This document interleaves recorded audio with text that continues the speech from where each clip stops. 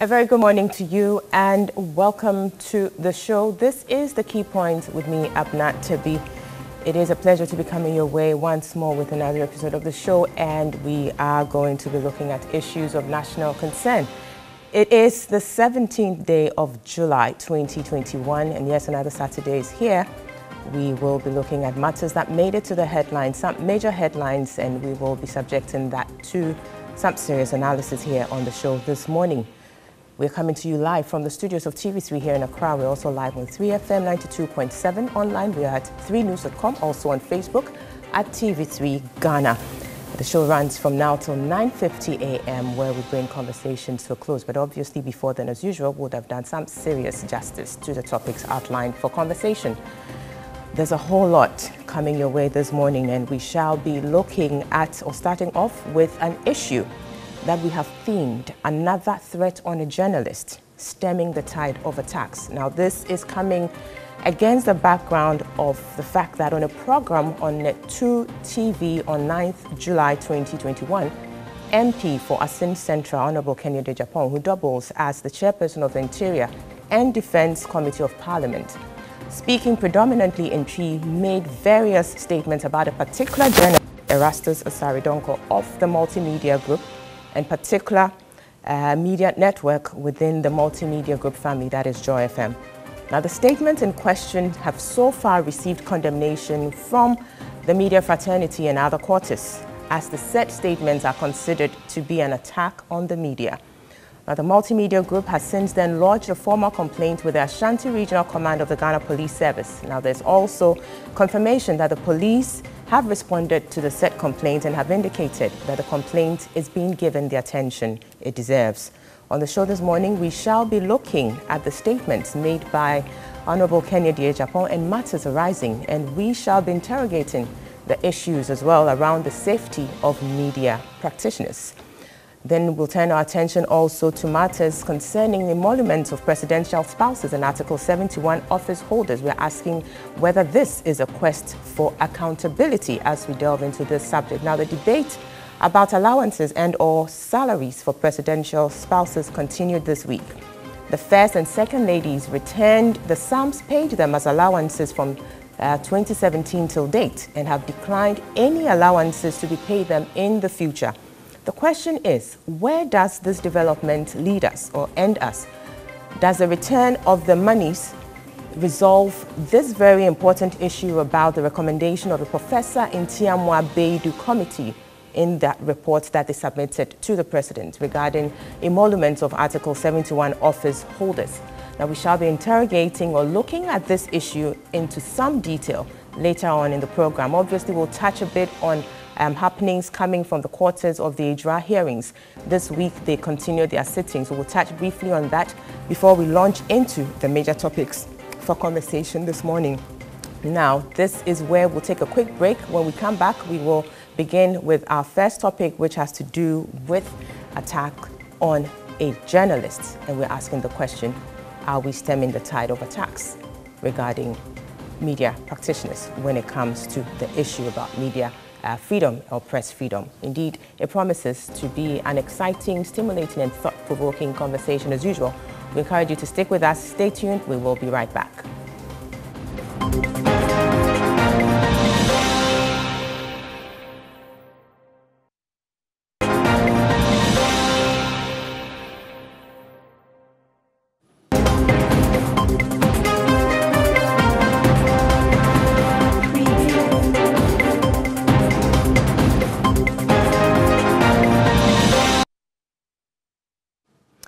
Welcome back. This is a Key Point. We're live on TV3, also live on 3FM 92.7, online at 3news.com, and also at TV3 Ghana, that's on Facebook. Um, we will be starting off the conversation looking at um, the issue about attacks on journalists, particularly looking at uh, certain statements made by the Honorable Kennedy Agyapong in respect of uh, multimedia group journalist Erastus Asare Donkor. But before that, we'll quickly touch on uh, developments coming from the quarters of Ejura regarding uh, the committee hearings, which continued this week. I'll quickly introduce the panelists uh, for this part of the conversation. We currently have with us on Zoom uh, Mr. Emmanuel Bombande. He is a UN a senior mediation advisor. Good morning, uh, Mr. Bombande. It's good to have you. Hello, good morning, and uh, good morning to your viewers. Very well. We also have on Zoom uh, Mr. Adib Sani. He is a security analyst, and we're also happy to have you. Um, Adib, good morning. We're, we're happy to have you. Can you hear me? Very well. We'll try to get um, Adib on. But in the meantime, let's start off with Mr. Bombande. Mr. Bombande, um, as indicated, we'll be moving on shortly to um, look at events coming from the quarters of Ejura regarding the three-member committee that continued their work uh, in the course of the week. We'll put there's a story that has been put together uh, to put matters in perspective. So let's take a listen to that and I come back to you, uh, Mr. Bombande. Even before the Justice Koomson-led committee began work, there were little expectations from many quarters. After the initial 10-day period expired, an additional six days meant a number of witnesses would appear to give testimony starting the 2nd of July. Deputy Ashanti Regional Police Commander DCOP David Ajemejiman told the committee despite Peking intelligence about the planned disturbances, the police went to the area without adequate crowd control equipment.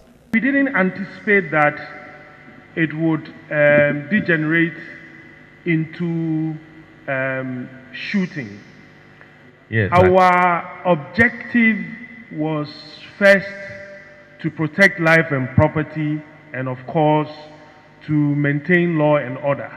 General Officer Commanding for the Central Command, Brigadier General Afor, maintained, but for the intervention of a military, more casualties would have been recorded that day. So, for what we did that day, we believe and strongly believe that there would have been more deaths if we actually wanted to use proper force or fire indiscriminately, more would have died. But we saw that only we, we tried to maim the people. We used the minimum force not to create more problems. So, but with that minimum force, the effect was there. For commanding officer of the 4th Infantry Battalion, Lieutenant Colonel Kwesi Wari Pepra, a soldier captured in a viral video kneeling to take aim at the protesters did not fire the gun. But that account has been challenged by residents and eyewitnesses. Abdul Nasiru Yusuf is brother of one of the deceased.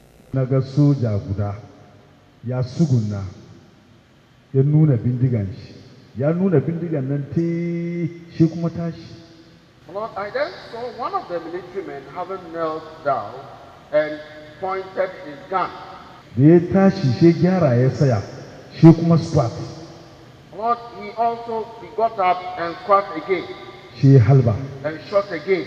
Wife of a late social activist and Fix the Country campaigner, Ibrahim Kaka, that's Sahada Tuhudu, was not sure about the mandate of a committee.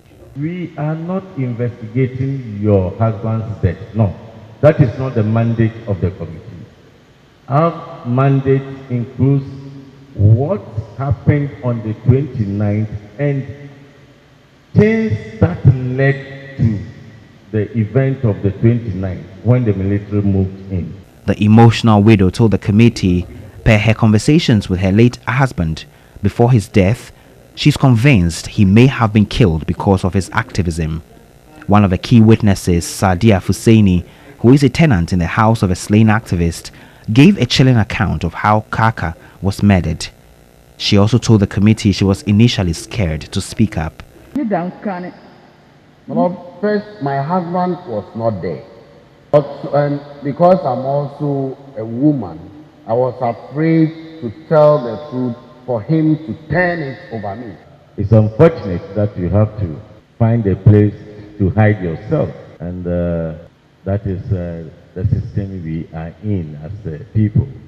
We normally don't want uh, to hear the truth. Yes, because uh, the truth is very bitter in the mouth, but when you swallow it, you feel relieved. The committee has also been unequivocal about the role of the media in the disturbances. Journalists from Multimedia Group and City TV who appeared before the committee to testify took some bashing. Statements from particularly the chairman yesterday almost suggested as though well, they have concluded and they know the facts already, uh, and that the whole thing uh, was inspired and uh, instigated by the media without providing a single shred of evidence. Many others, including the Under Fire Municipal Chief Executive, Salisu Subamba and Medical Superintendent of Ejura government hospital, have also taken their turn. The residents, families of victims, and traditional leaders say they expect justice to be served after all is said and done.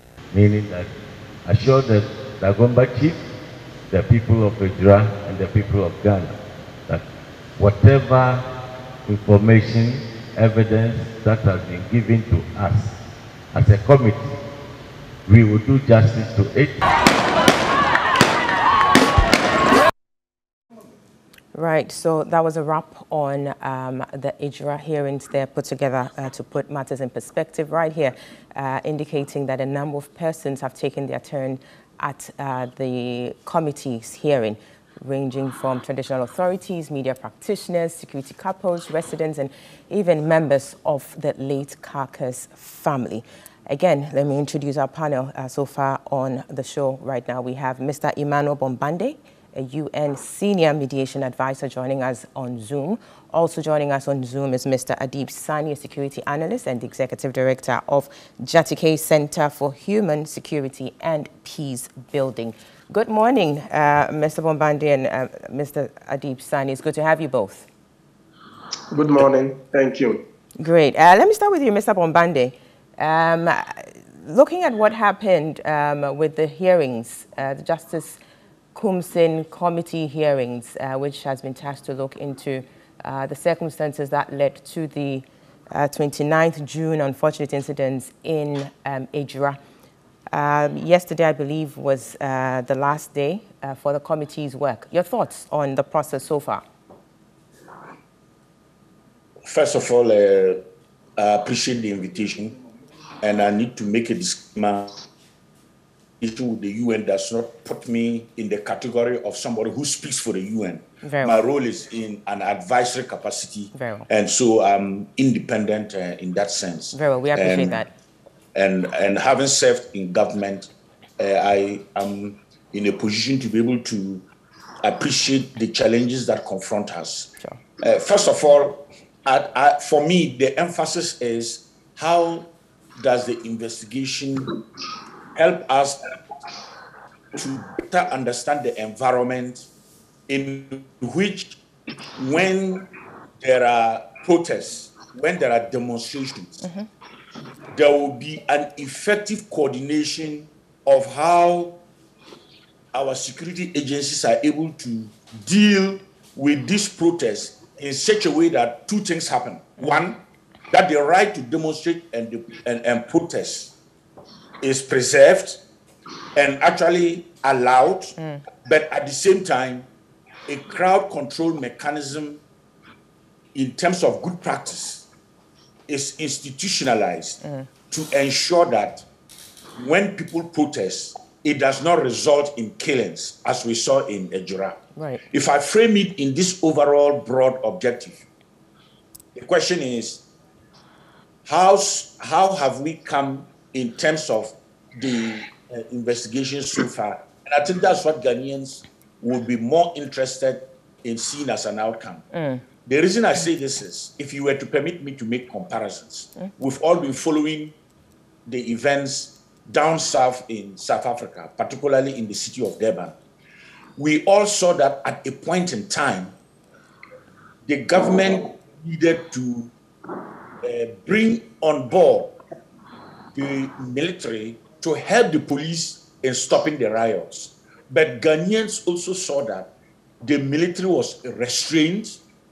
There was never any attempt to try and uh, create a situation in which you want to shoot on the crowd, you want to use the type of force that in itself is a crowd control mechanism. So, my first observation is when we talk about the use of force, the use of force should never be to the extent that it can lead to injuries and it can lead to deaths, even if unfortunately it results as we saw in, in, in, in, in the case. So there needs to be another uh, approach which basically suggests that we cannot have excuses about the lack of a proper equipment. Mm. But then those become excuses because you cannot have people losing their lives and then we hear excuses such as there was inadequate equipment and to that extent we try to project what could have happened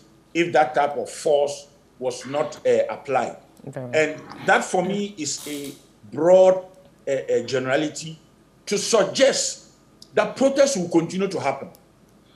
And we could talk about that in the context of when there is a widening gap, a widening wealth gap, in which you have a minority that is a tiny minority from the middle class upwards in wealth, and then you have an overwhelming majority that continue to grow poor. Hmm. And the type of anger for various reasons, and not particularly in any political dispensation, will continue to happen well. as long as the broad environment permits it. So, what we need to do is to improve on the practice mm. and ensure that there is good practice in how there is crowd control when there are protests. Very well. So essentially, we should brace ourselves for you know more of these until I mean, to, so far as that we are not dealing with that disparity between you know the haves and the have-nots. Very well said. Um, I'll quickly move to Adib Sani. Adib, can you hear me? Loud and clear. Very well, good. Uh, so yes, uh, you've been following developments uh, from the Justice uh, Committee hearings and all. What um, has stood out for you so far, particularly looking at you know their last week's um, performance or the hearings? Well, well, first of all, let me say a special good morning to uh, Mr. Bombande. Mm. Um, apart from the, the fact that he's someone who inspires me. He is an in-law, but perhaps he doesn't know. uh, but he would understand. Edmond's yeah. wife is his sister. Okay. Only, only he would understand. Ah, well, we leave that to the two of you. okay. Right. So, I mean, um, from day one, I've been quite categorical in the fact that, I mean, these are persons, uh, I mean, the committee members who have distinguished themselves in their areas of specialization over the years. And the fact that such a huge responsibility uh, that has garnered a lot of controversy and discourse. Everybody seems to be talking about it. I mean, um, international media even picked it up. Um, I'm sure they wouldn't want to put themselves to shame, so uh, they will do a good job. Um, almost everybody who mattered uh, featured, um, faced the committee.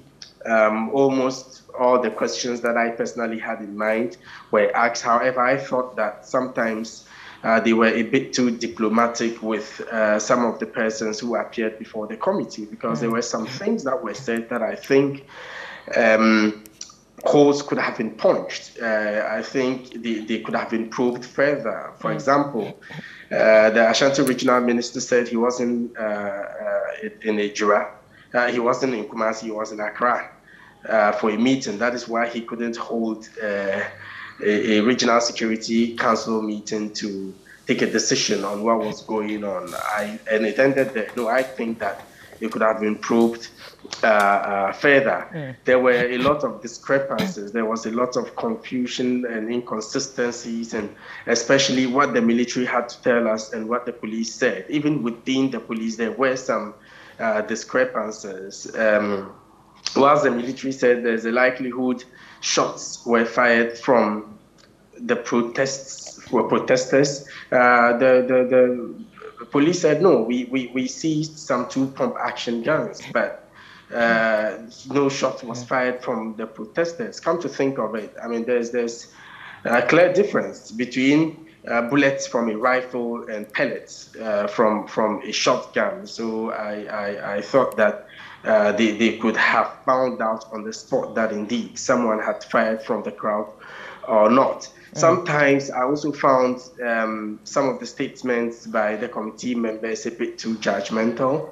Um, for example, the chairperson uh, spoke about uh, the fact that the truth is bitter, and you know, so I, I found it quite awkward. I mm. mean, knowing full well that this is just the beginning, and a lot of work uh, has to be done going into the future. But overall, I think my general assessment is positive. Mm. Uh, they, they've done a good work, but it doesn't end there. When the chairperson was asked what his expectations are, he was categorical. I don't have any expectations because mine is to submit a report containing recommendations to the interior minister. Okay, whatever he does with it, mm, I'm mm. done. I'll go mm. back to my way of life. You know? Right. So um, this we wait and see. Not this is not the alpha and omega mm. solution wise to mm. what is going on in the area, but it's a giant step in the right direction. Very well. Uh, towards bringing peace uh, Very well. to Ejura. Very well. Ultimately, we, we await uh, the, the, the, the report that will be issued by this committee and we'll see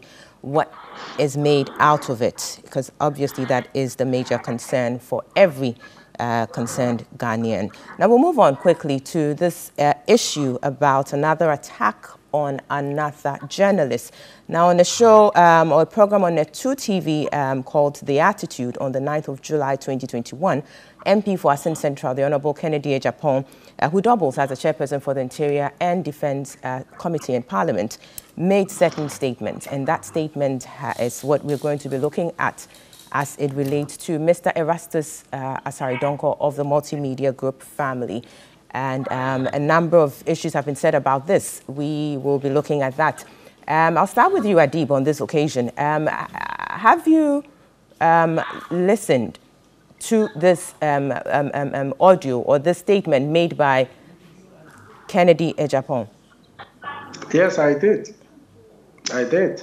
I, I did, as a matter of fact, more than once. Very well. And, uh, Adib, kindly hold on for me. We'll, we, we want to put things in better perspective. We're going to look back at some statements that the Honorable uh, Kennedy Agyapong has made in the past. And that has, you know, those statements have come back uh, to the fore of public discourse in respect of this new statement that he has made. And so let's take a listen or let's take a look back on some of the statements made by the uh, Honorable Kennedy Agyapong MP for Assin Central. Right. So um, we have uh, Mr. Kennedy Agyapong's uh, statements here. We've titled it Kennedy Agyapong's Controversies and dated June 28, 2018. Um, he was hauled before the Privileges Committee for allegedly um, describing Parliament as um, useless. In 2019, um, he put Ahmed Suale's pictures on live TV and described him as very dangerous, encouraged viewers to beat him, assuring uh, whatever happens, I'll pay. That's what he's, uh, he said. He was later uh, murdered. Then in September 2020, uh, the Honorable MP was charged with contempt after describing a High Court judge as stupid. He later apologized uh, May 2021, the MP accused the Ghana Police Service of knowing the killer of Ahmed Suale but failing to arrest the suspect. Uh, the list goes on. July 2021, uh, he makes life-threatening comments about multimedia journalist Erastus and impugned wrongdoing on the multimedia group. So this is where we are currently uh, with uh, the Honorable um, Kennedy Agyapong. And so putting things in perspective right here, and listening to what he said recently in respect of Erastus, uh, what, what, what do you make of that? Well, it is, it is um, disturbing.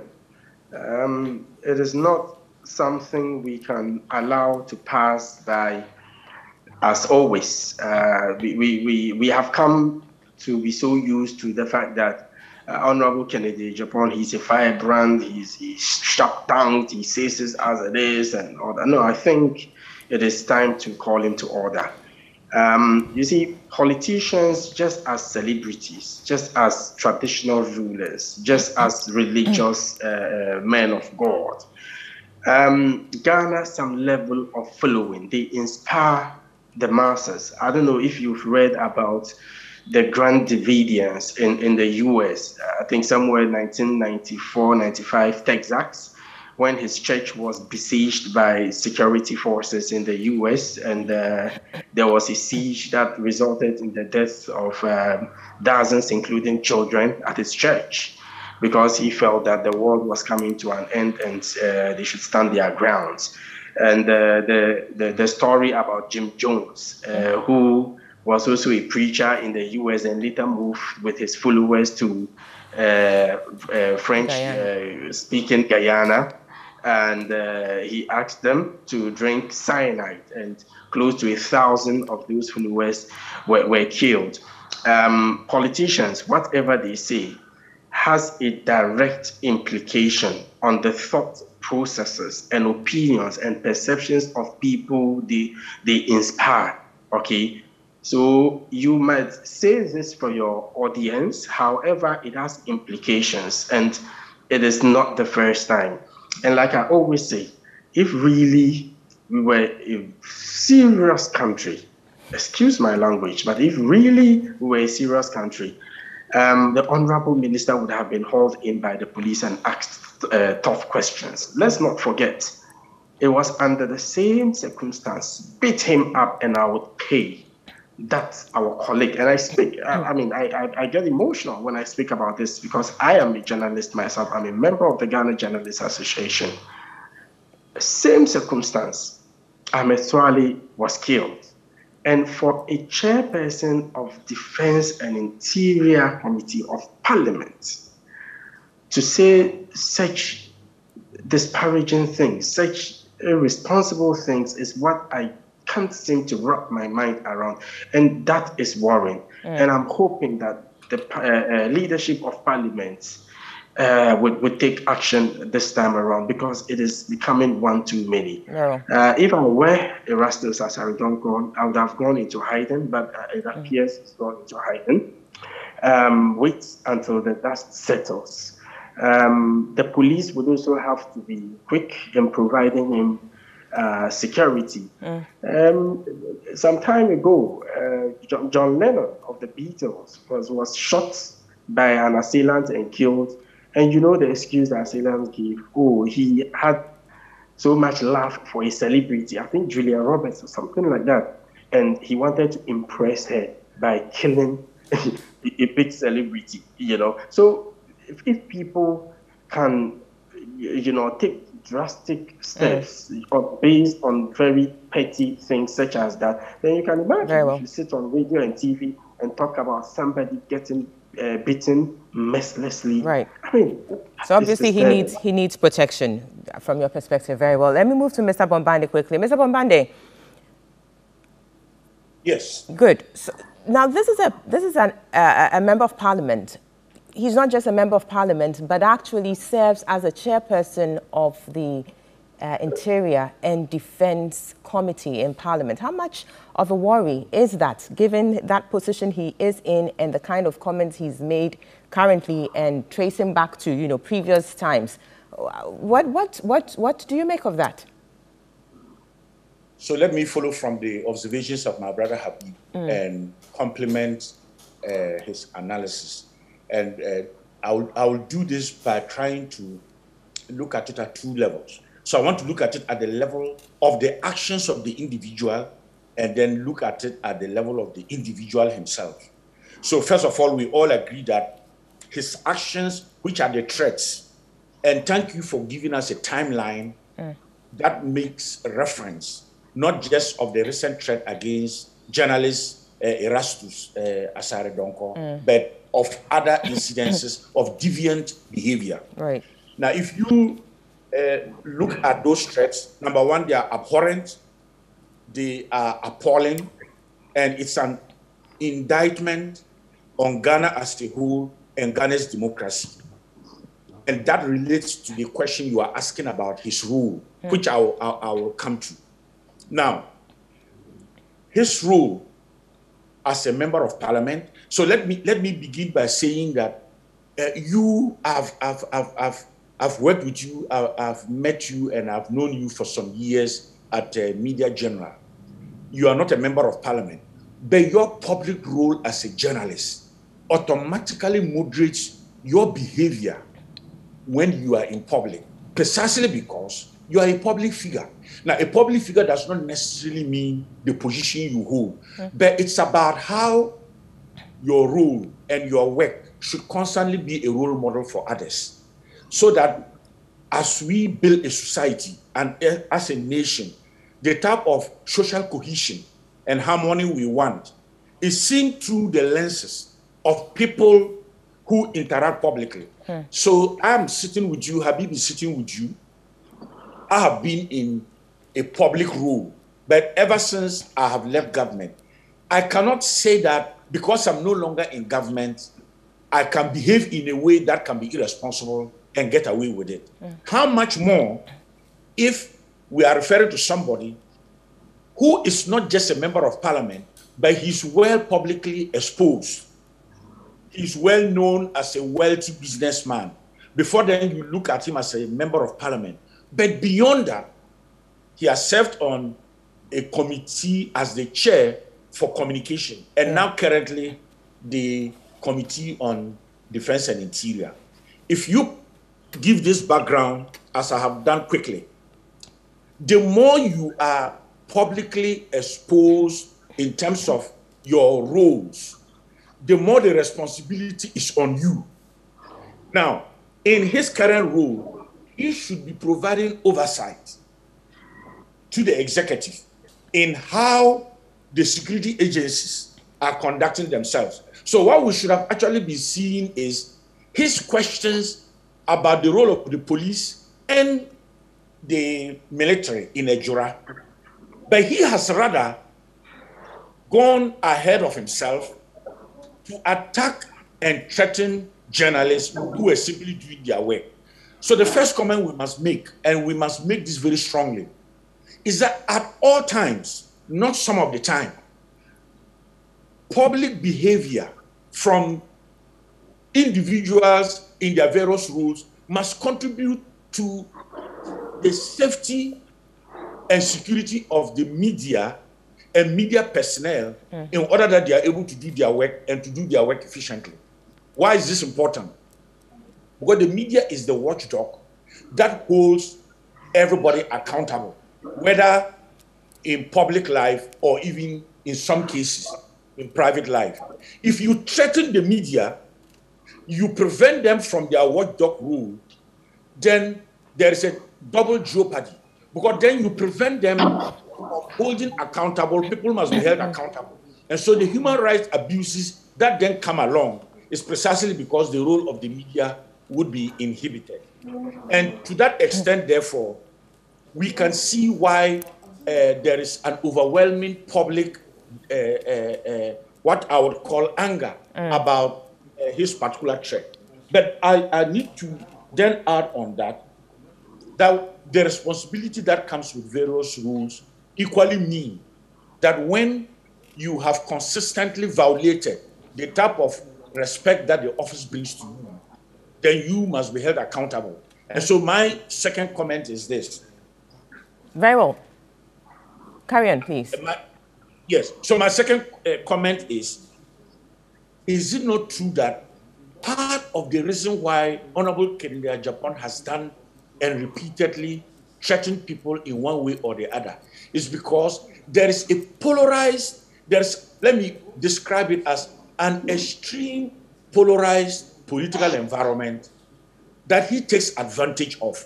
And so when we're talking about accountability, I would wish that it should not be seen as NDC holding Honorable Kennedy Agyapong accountable because he's an opponent to NDC. It must be the collective role of responsibility of all members of parliament. And I would even go further to say that his own party should take the lead in playing that role of holding him accountable. Mm. But having said this... But let me bring in I, something here, which has to do with the bit about accountability by the collective.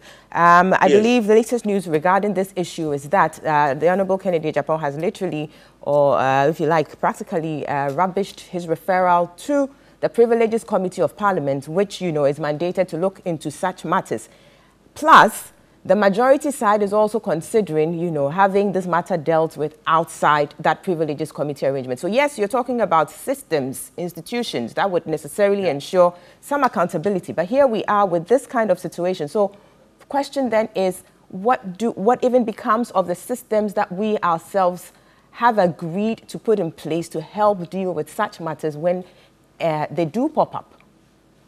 Yeah, I'm, I'm, I'm happy you make reference to, to systems that we try to put in place, mm-hmm. democratic systems that function for our collective good, all of us. Now, when you undermine that system by refusing to exercise the responsibility on you to hold accountable those who try to destroy the system, you are not doing damage just because the person belongs to your political divide, but you do damage for the entire country, particularly in terms of the future and how the system then becomes resilient and, and, and, and can function. And that's why collectively working to hold him responsible is not necessarily a punishment of Honorable Kennedy Agyapong, but it is precisely to make strong the system that uh, you are just uh, describing. Mm. However, if Honorable Kennedy Agyapong, and I also want to add, he seems to be a man who is struggling with himself. He seems to be a man who does not know what he wants. He has family, and through social media, he tries to project himself as a responsible father. He is wealthy, he has political influence, he has political power, but it looks like all that is empty for him. And he projects himself always negatively in the public eye. Now, if he is able to manage his own ego, recognize his own weaknesses, mm. and be prepared to engage differently into the future in terms of behavior and conduct, I can then hear or listen to the proposal that you made that some people from his political side which is the majority, think that they can deal with it outside. Mm. Because dealing with it outside means the person has expressed remorse, is regretting, and is willing to change and is prepared to contribute to the development of the system that you just talked about. Right, but unfortunately, in this instance, this person has actually rubbished his referral to the Privileges Committee. I mean, it's, obviously, he's not above the law. Definitely exactly. not. Nobody is above the law. So what do you make of that particular, uh, you know, action of his, literally um, disregarding uh, his referral to the um, Privileges Committee of Parliament? So in terms of our internal collective security arrangement, democratic accountability, deepening and consolidating de democracy, which we can list as informing that system. And I like the uh, description you made because I, I like to do a lot of system analysis, mm. which basically looks at the interconnection of everything. Right. We can as well forget about it precisely because when some people see themselves and are treated as above the law, then no system operates. Mm-hmm. And we have to borrow again from South Africa that a former president has to be subjected to the democratic system of South Africa. He's right. currently in jail. Mm-hmm. The worst mistake would have been for mm-hmm. Jacob Zuma to have been treated differently because he was a former president. In the same scenario, if Kennedy Agyapong cannot be held accountable because of who he is, then how do you hold anybody accountable regardless of the status of that person? Right. And that's why this is grievous and it's a serious concern going forward in our Ghanaian dispensation. Mm. But my good sister, let me uh, uh, conclude my contribution at, uh, on this question by saying that sure those who are not doing a deep and introspective analysis do not know the damage mm. that this continues to do to our democracy when we allow these things to just pass on without the level of seriousness that uh, they, they, they have to be dealt with. And I would even have thought that it should be the NPP that should take the leadership in trying to engage Honorable Kennedy Agyapong and to hold him accountable to his actions. Mm. And since he has demonstrated publicly that he's rubbishing any of the attempts to hold him accountable, his own party should be stronger. So that it does not look like this is politics mm. and it's the divide between the two uh, uh, parties in which it is the NDC who should hold him accountable. Mm. And obviously, finally, he's not cut out and he does not have the temperament to play the role he's playing currently as the chair of the Defense and Interior Committee of Parliament. Because there is an indictment to the entire parliamentary system. Exactly so. Very well. Let me quickly also move to um, Adib. And let me, let me yes, Adib, come in. Mm-hmm. Yeah. And you know that, that, that, that I, I, I couldn't have agreed with uh, Mr. Bombande more. Um, uh, Honorable Kennedy Agyapong's continuous protection, okay, as it seems, by his side is emboldening him. Um, yesterday, I listened to his rebuttal over him being hauled to the Privileges Committee, and he even said worse things. As a matter of fact, he got into the gutter. He he he sounded very dirty. I mean, he virtually insulted uh, Honorable Alhassan uh, Suhuyini and repeated same things he said about the journalists beaten and the fact that multimedia is, is, was established uh, using drug money and all that. I mean, Mm-mm. that is disturbing. And um, as a chairman of the Defense and Interior, I mean, uh, and also intelligence, um, he will be privy to a lot of information. Yep. Um, some of it, uh, in one way or the other, would be uh, classified. And as uh, I don't want to use an unpalatable description, but as someone who is not able to hold back his words, he says it almost everything. He gives you a thousand cities, then the following day he's on TV telling the whole world he's giving you a thousand cities. I mean, so I can imagine uh, what secrets he can hold back, you know, and that's would be disturbing. And as someone like rightly mentioned by Mr. Bombande, who would exercise oversight responsibility and all that, um, the, the, the, the security of the state is paramount. And his continuous language, because I remember prior to the 2016 elections, he said that if uh, Charlotte Osei uh, uh, rigs or, or, compromises the elections, there will be war in Ghana. I mean, that, that is what he said.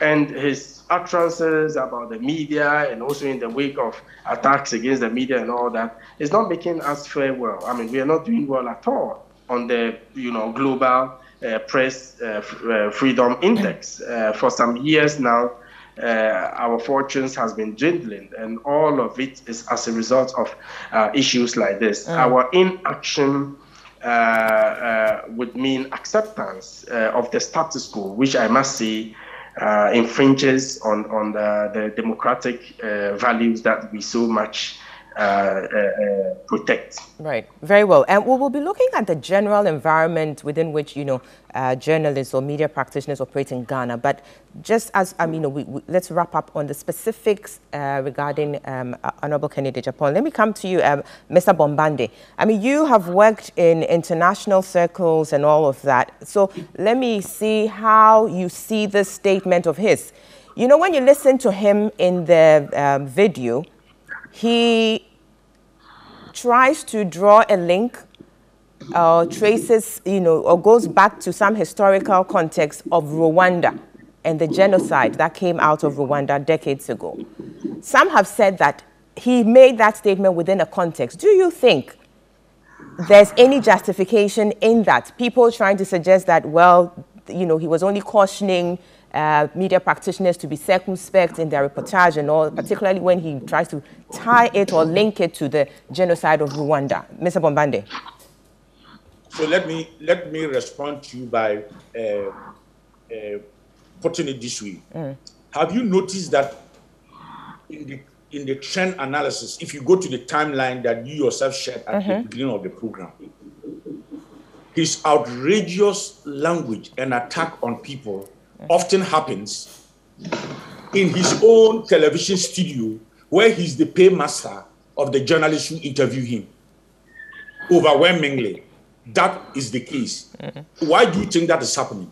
Because in his own studio, none of the journalists there can challenge him and can challenge him on his utterances. So then they are spineless and they are just like, uh, excuse my language, objects that he uses and plays around with them to get his language across.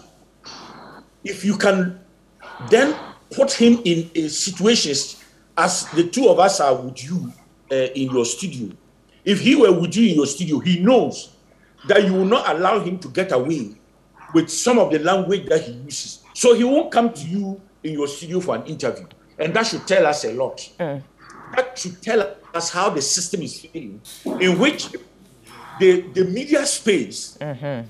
has been taken and has been misused for the purposes of extreme ideological projection of the influence and the power of an individual. And that's what happened to Rwanda. Right. The, the media in itself was not the, the, the, the reason for the genocide. How powerful political players who were completely trapped in ethnocentric politics. And that ethnocentric politics went to the extreme level of trying to eliminate the opponent who was from a different ethnic group.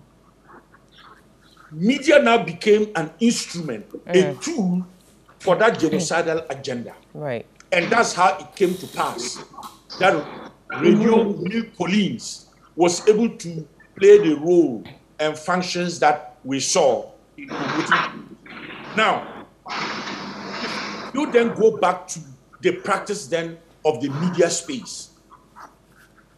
We want, in order to continue to develop our freedoms and liberties and our democracy, we want an, an active media landscape in which our journalists would report everything that they see, everything that is happening, so that the generality of the public can be well informed to contribute to the decision making processes that continues to advance Ghana. Mm. When you when you intimidate that media space and prevent the media from doing that, then the consequences are great. Mm. And now, if I relate it to the other aspect of your question, keep in mind that when you review the literature of international human rights law, what is cross-cutting, what you see as elements, is that the more responsibility you hold in society, the more the Human Rights Charter,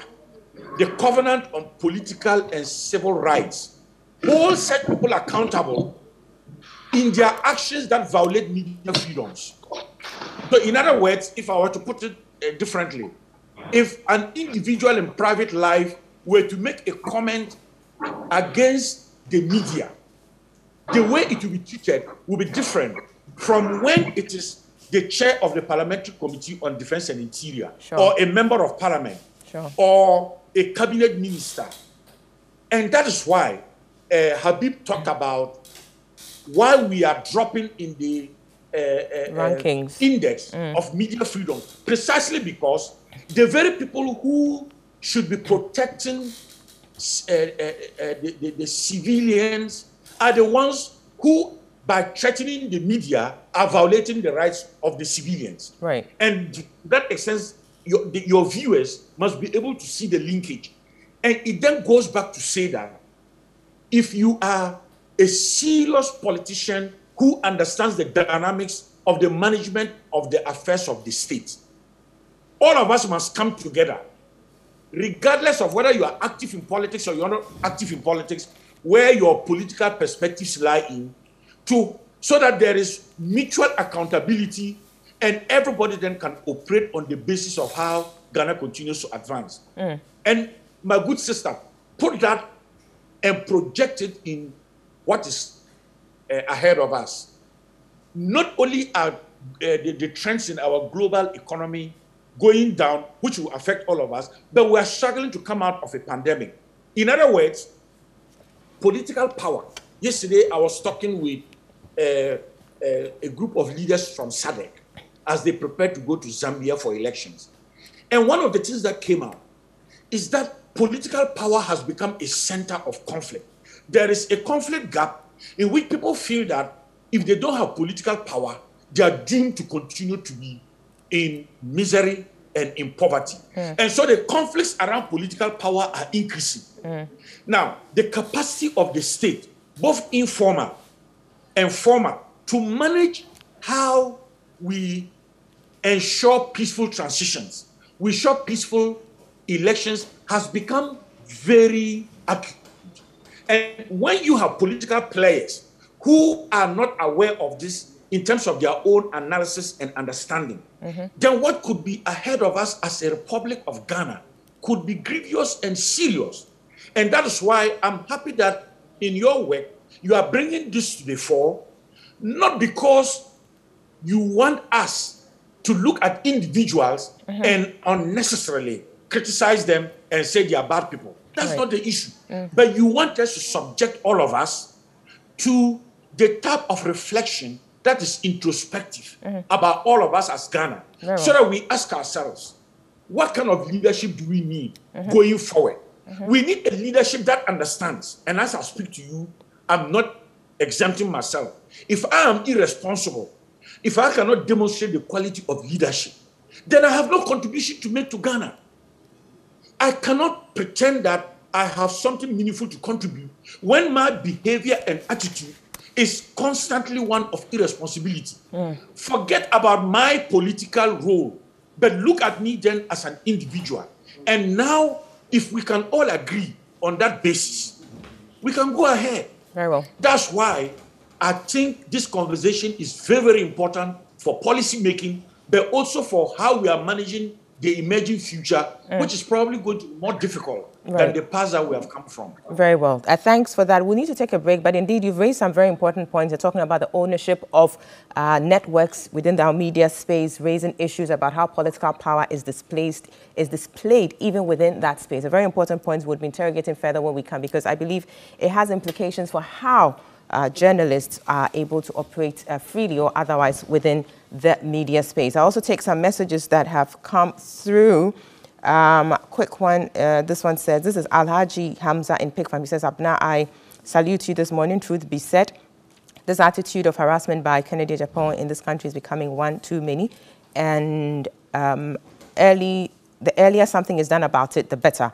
Kennedy Agyapong should realize that he's a lawmaker and for that matter, the chairman of the Committee of Interior and Defense in Ghana's parliament. In my humble opinion, the chairmanship of the Interior and Defense Committee should be taken from him because he does not deserve it. Um, Alhaji Haruna in Ashaiman says, Abna, the behavior of Kennedy Agyapong puts the lives of all journalists in danger and prevents them from doing their job. Um, so, uh, from doing their job, sorry. Um, Kweku in La Paz says, Good morning, Abna. Ghanaians should not take our peace for granted. Our peace um, it's a legacy from Osagyefo Dr. Kwame Nkrumah uh, by bringing us together. Prince Henry in Koforidua says, Guman Nabna, first it was Ahmed Suale and he was killed some days after the threat was issued. Now, same threat is issued on Erastus. Should we wait for him to be killed like Ahmed Suale before we act? Ghana police, your integrity is in limbo. The future is pregnant indeed hashtag the key points. I'll take one more. Says this is Aziz Donla Inwa. He says the insecurity in the country is alarming and worrisome. Indeed, as citizens, we all have to personally safeguard our own security because the current development is becoming whimsical and capricious. Hashtag fix the country now. That's Aziz Dolanwa. Thanks. I will be reading some more of your messages when we return from the break. This is the key points. Uh, we'll take a quick break. When we come back, we continue our discussion looking at uh, attacks on journalists and how to stem the tide of attacks. See you shortly.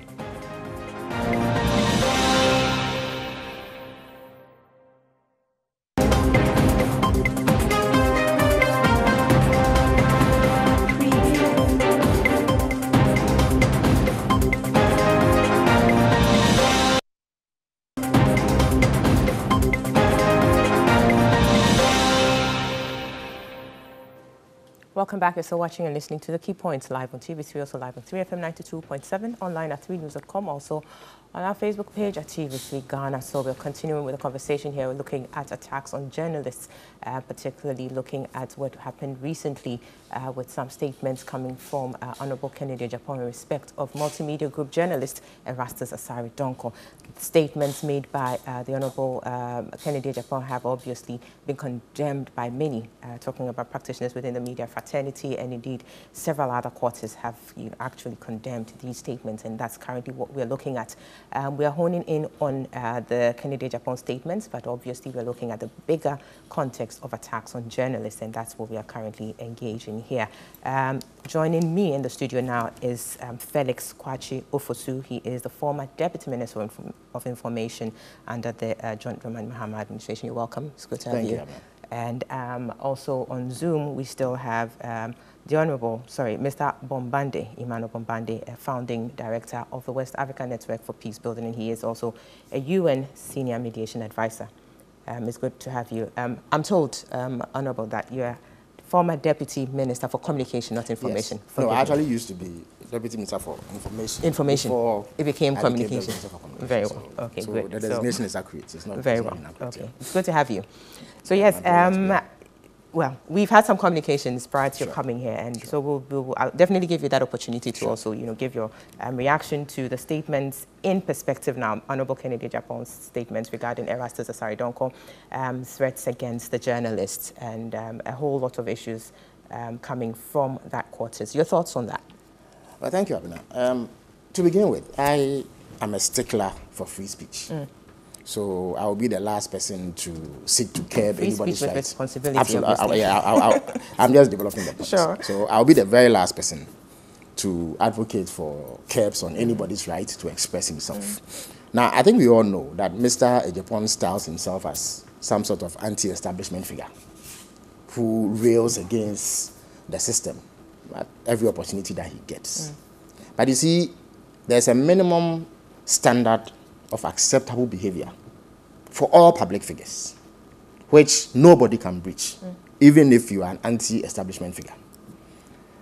Unfortunately, Mr. Agyapong has breached this standard of behavior on multiple occasions without any consequence. He has run roughshod over any and everybody in this country and any and every institution that one can think of without any consequence. But I don't think that we can pretend that we do not know why the situation persists.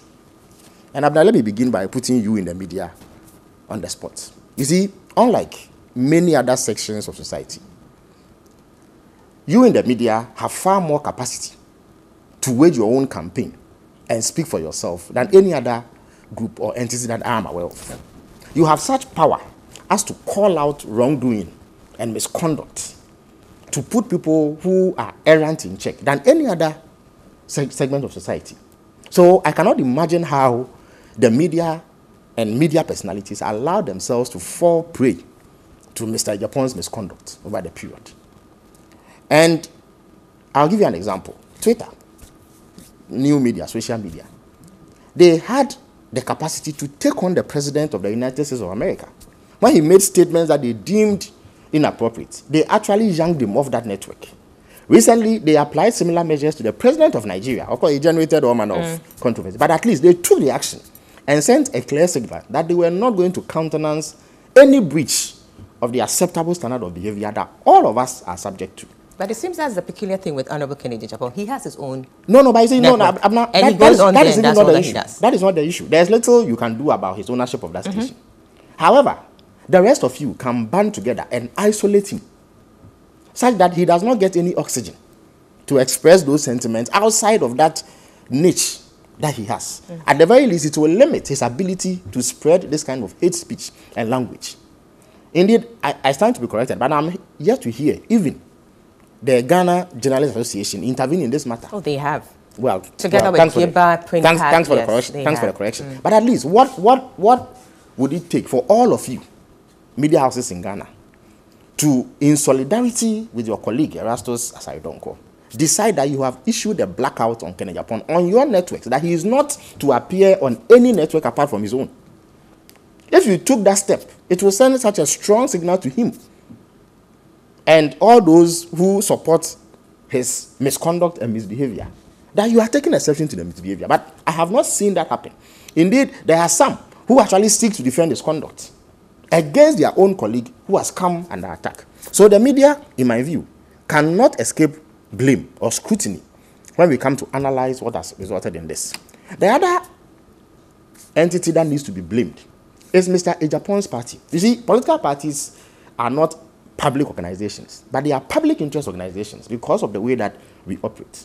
Mr. Agyapong belongs to the political party. And political parties, like I indicated, to the extent that they are in the public eye, are also bound by acceptable standards of public behavior. So when one member constantly behaves errantly, without consequence, sometimes with the active support and connivance of his party, that party must be called out. Indeed, I'll give you a typical example. Mr. Agyapong has said many things, but in my view, the most outrageous of them was what he said in 2011, uh, calling on Akans to attack Ghana certificates. You remember that outrageous call?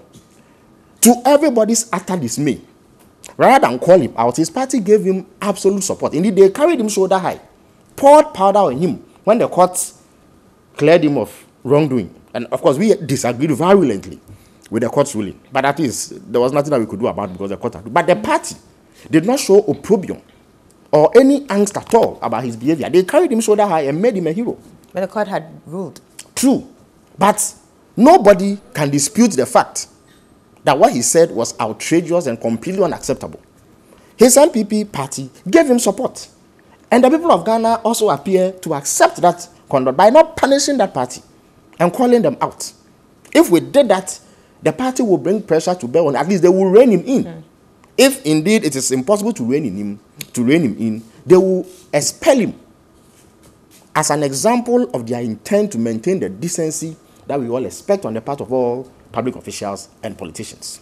The other entity that I must criticize is Parliament itself. Mm. You see, the title honorable is not given to members of Parliament because Parliament has a storehouse of titles to confer as confetti.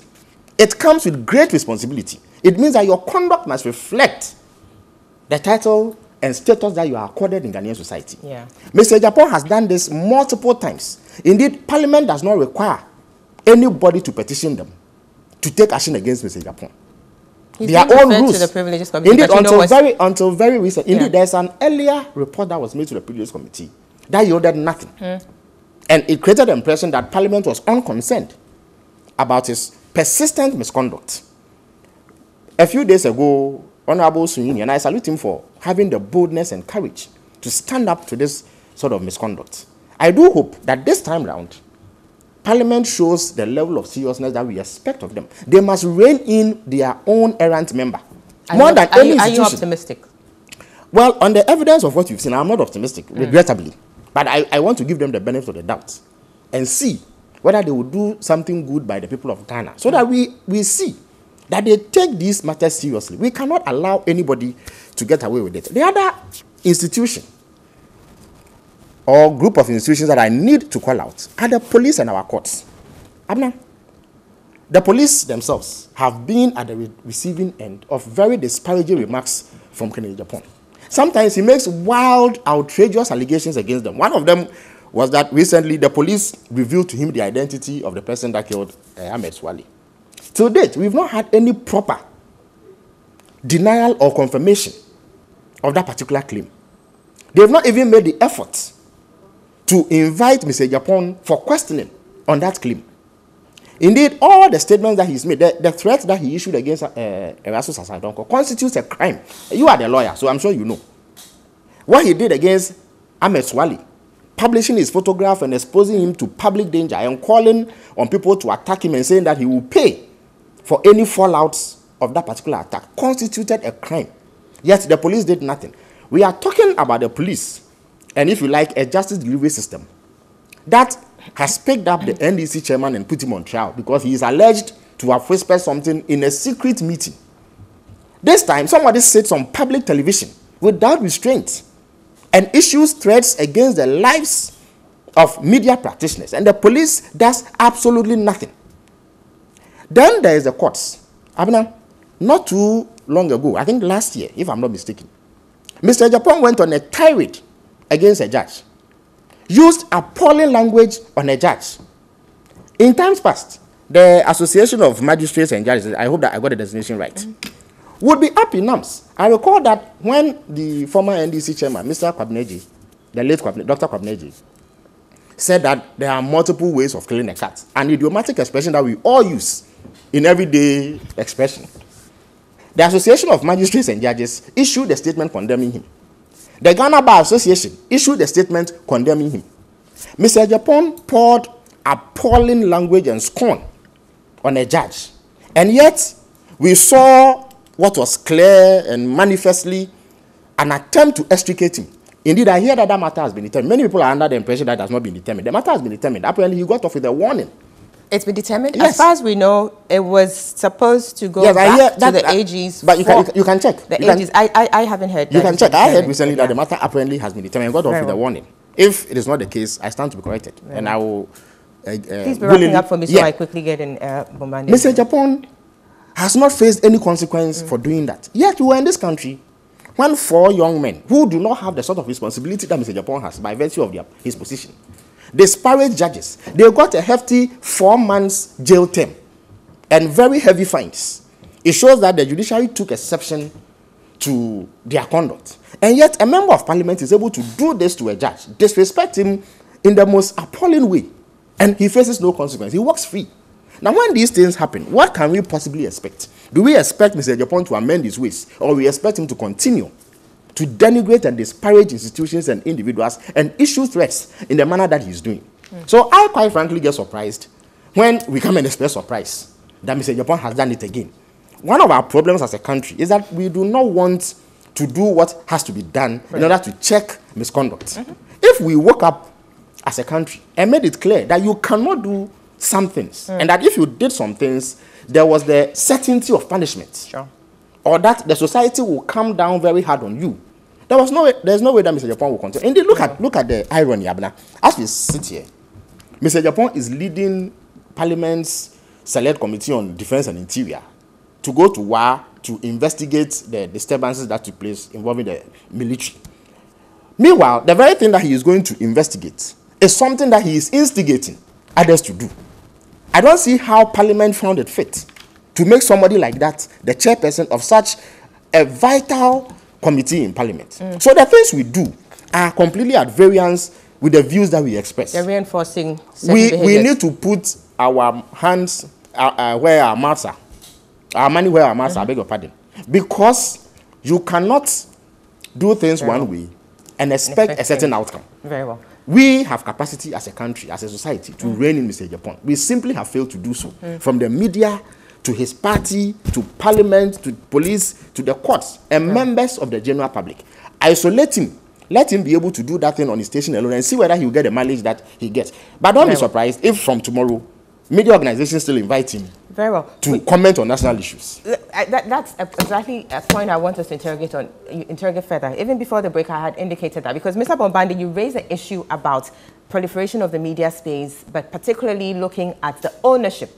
So yes, there's that proliferation, you know, um, giving room for employment of people and all of that. But there's the other side of it, which has to do with political power and how it is at play in there to the detriment of society, given how it is being exercised. And that's what I want us to take, you know, take the discussion to now, to ensure that even as the media space is being, you know, expanded, if you like, taking uh, information to the people as close as possible, there's a certain danger in there, and that has to do with uh, the protection of journalists as they carry on their business.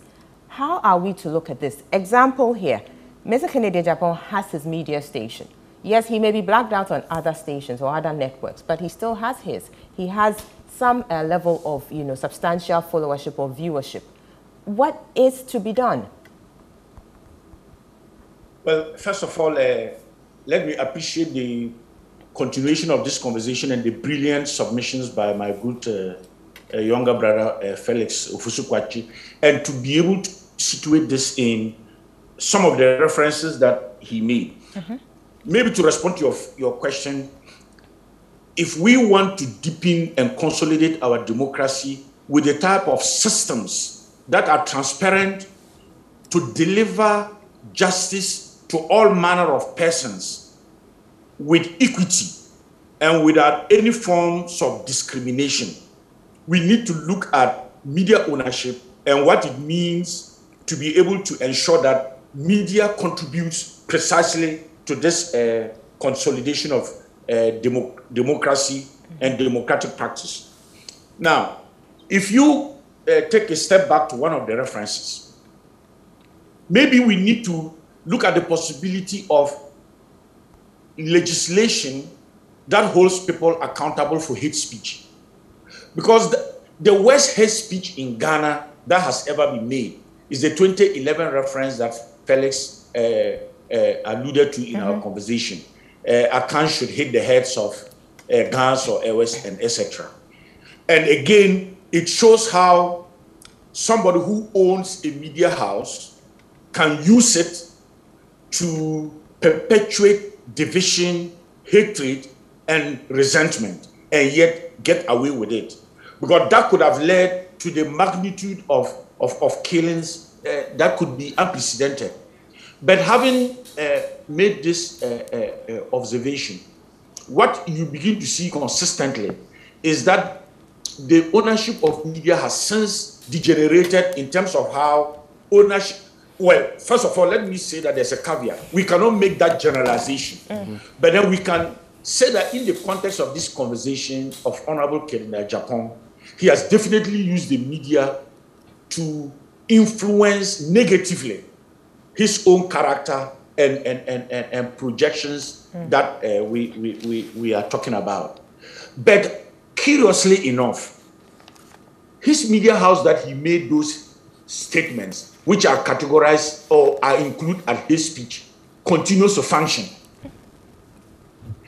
But a media house that was very popular like Radio Gold, mm-hmm. for very mysterious circumstances, when there was a change of government, has been shut down together with others. And as we speak, that media house at least in terms of its frequency, has been prevented from operating.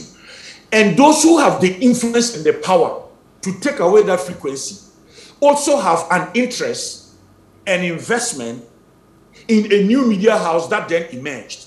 So not only is the media ownership beginning to be problematic, but it is being used discriminately to project political power and to have total control of political power which then becomes an underlying issue that can send us into very deep violent conflict. And we need to be able to uh, address this. Because if we do not do it, we are just simply joining the hypocrisy that everything looks good in Ghana because we are burying our heads in the sand right. and then thinking that uh, everything in, uh, uh, uh seems to, to be in order. Right. If you then put this against the background of the accusations, it then goes back to one, if you want to end impunity, you must hold people who consistently abuse the media landscape and use it in the ways that we are talking about. You must sanction them in order that uh, everybody can see that the state has the capacity to hold such people accountable. Mm. And that in itself is the means through which we can end the impunity. If at the level of the police, at the level of the judiciary, at the level of parliament itself, we are spineless and none of this can happen, then let's also agree that we are preparing ourselves for the worst case scenario. And when we get there, nobody should then turn around and pretend that we did not know what was ahead of us mm. or what was uh, uh, going to come. And that for me then becomes uh, very significant. Very, very, very well. Um, Mr. Bombande, sorry, let me uh, just interrupt there a bit. Uh, I think we've been joined by uh, Richard Asante Yeboah, Deputy Communications Director of the NPP. And let me say that indeed we had advertised that we'll be joined by um, Dr. John Kumah, the Deputy, uh, Finance, a Deputy Finance uh, Minister, but he didn't join us as advertised. And so we now have a representation from uh, the NPP. That's Richard Asante Yeboah, Deputy Communications Director of the NPP. Good morning, Richard. How are you? Good morning, my dear. I'm doing good, man. I hope all is well with you. And good morning to my, my colleagues out there. Good. So, yes, uh, I'm sure you've been following the conversation here. We're looking at uh, the statement made by the Honorable Kennedy Agyapong in respect of Erastus Asare-Donkor.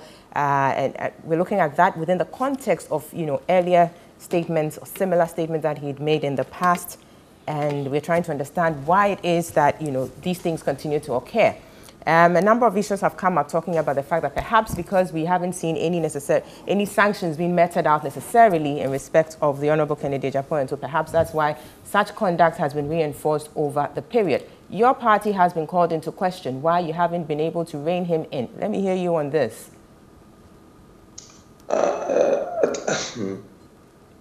Unless you're saying the NPP endorses such statements.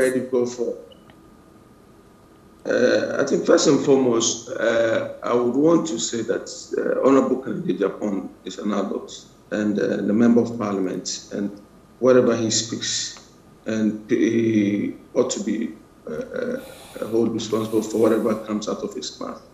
And we need to understand that within the context of free speech, one also ought to be careful with the extent where the person knows stating that will create challenges for us. But I think everything came in as a result of the media conduct and the reportage that we saw from the Ejura uh, incident, where the conduct of the media and the conduct of certain individuals wanted to profit from the unfortunate death of uh, when they are not even fully aware of the incident that led to the death of the gentleman, decided to take advantage of that issue, where they, uh, they, they link the individual to the fist of the country movement as a result created some anger within the youth that led to the unfortunate death and avoidable death of two Ghanaians because of the reportage and the, the, the, the, sort of media creation and certain individuals who decided to sort of uh, profit from this for their own political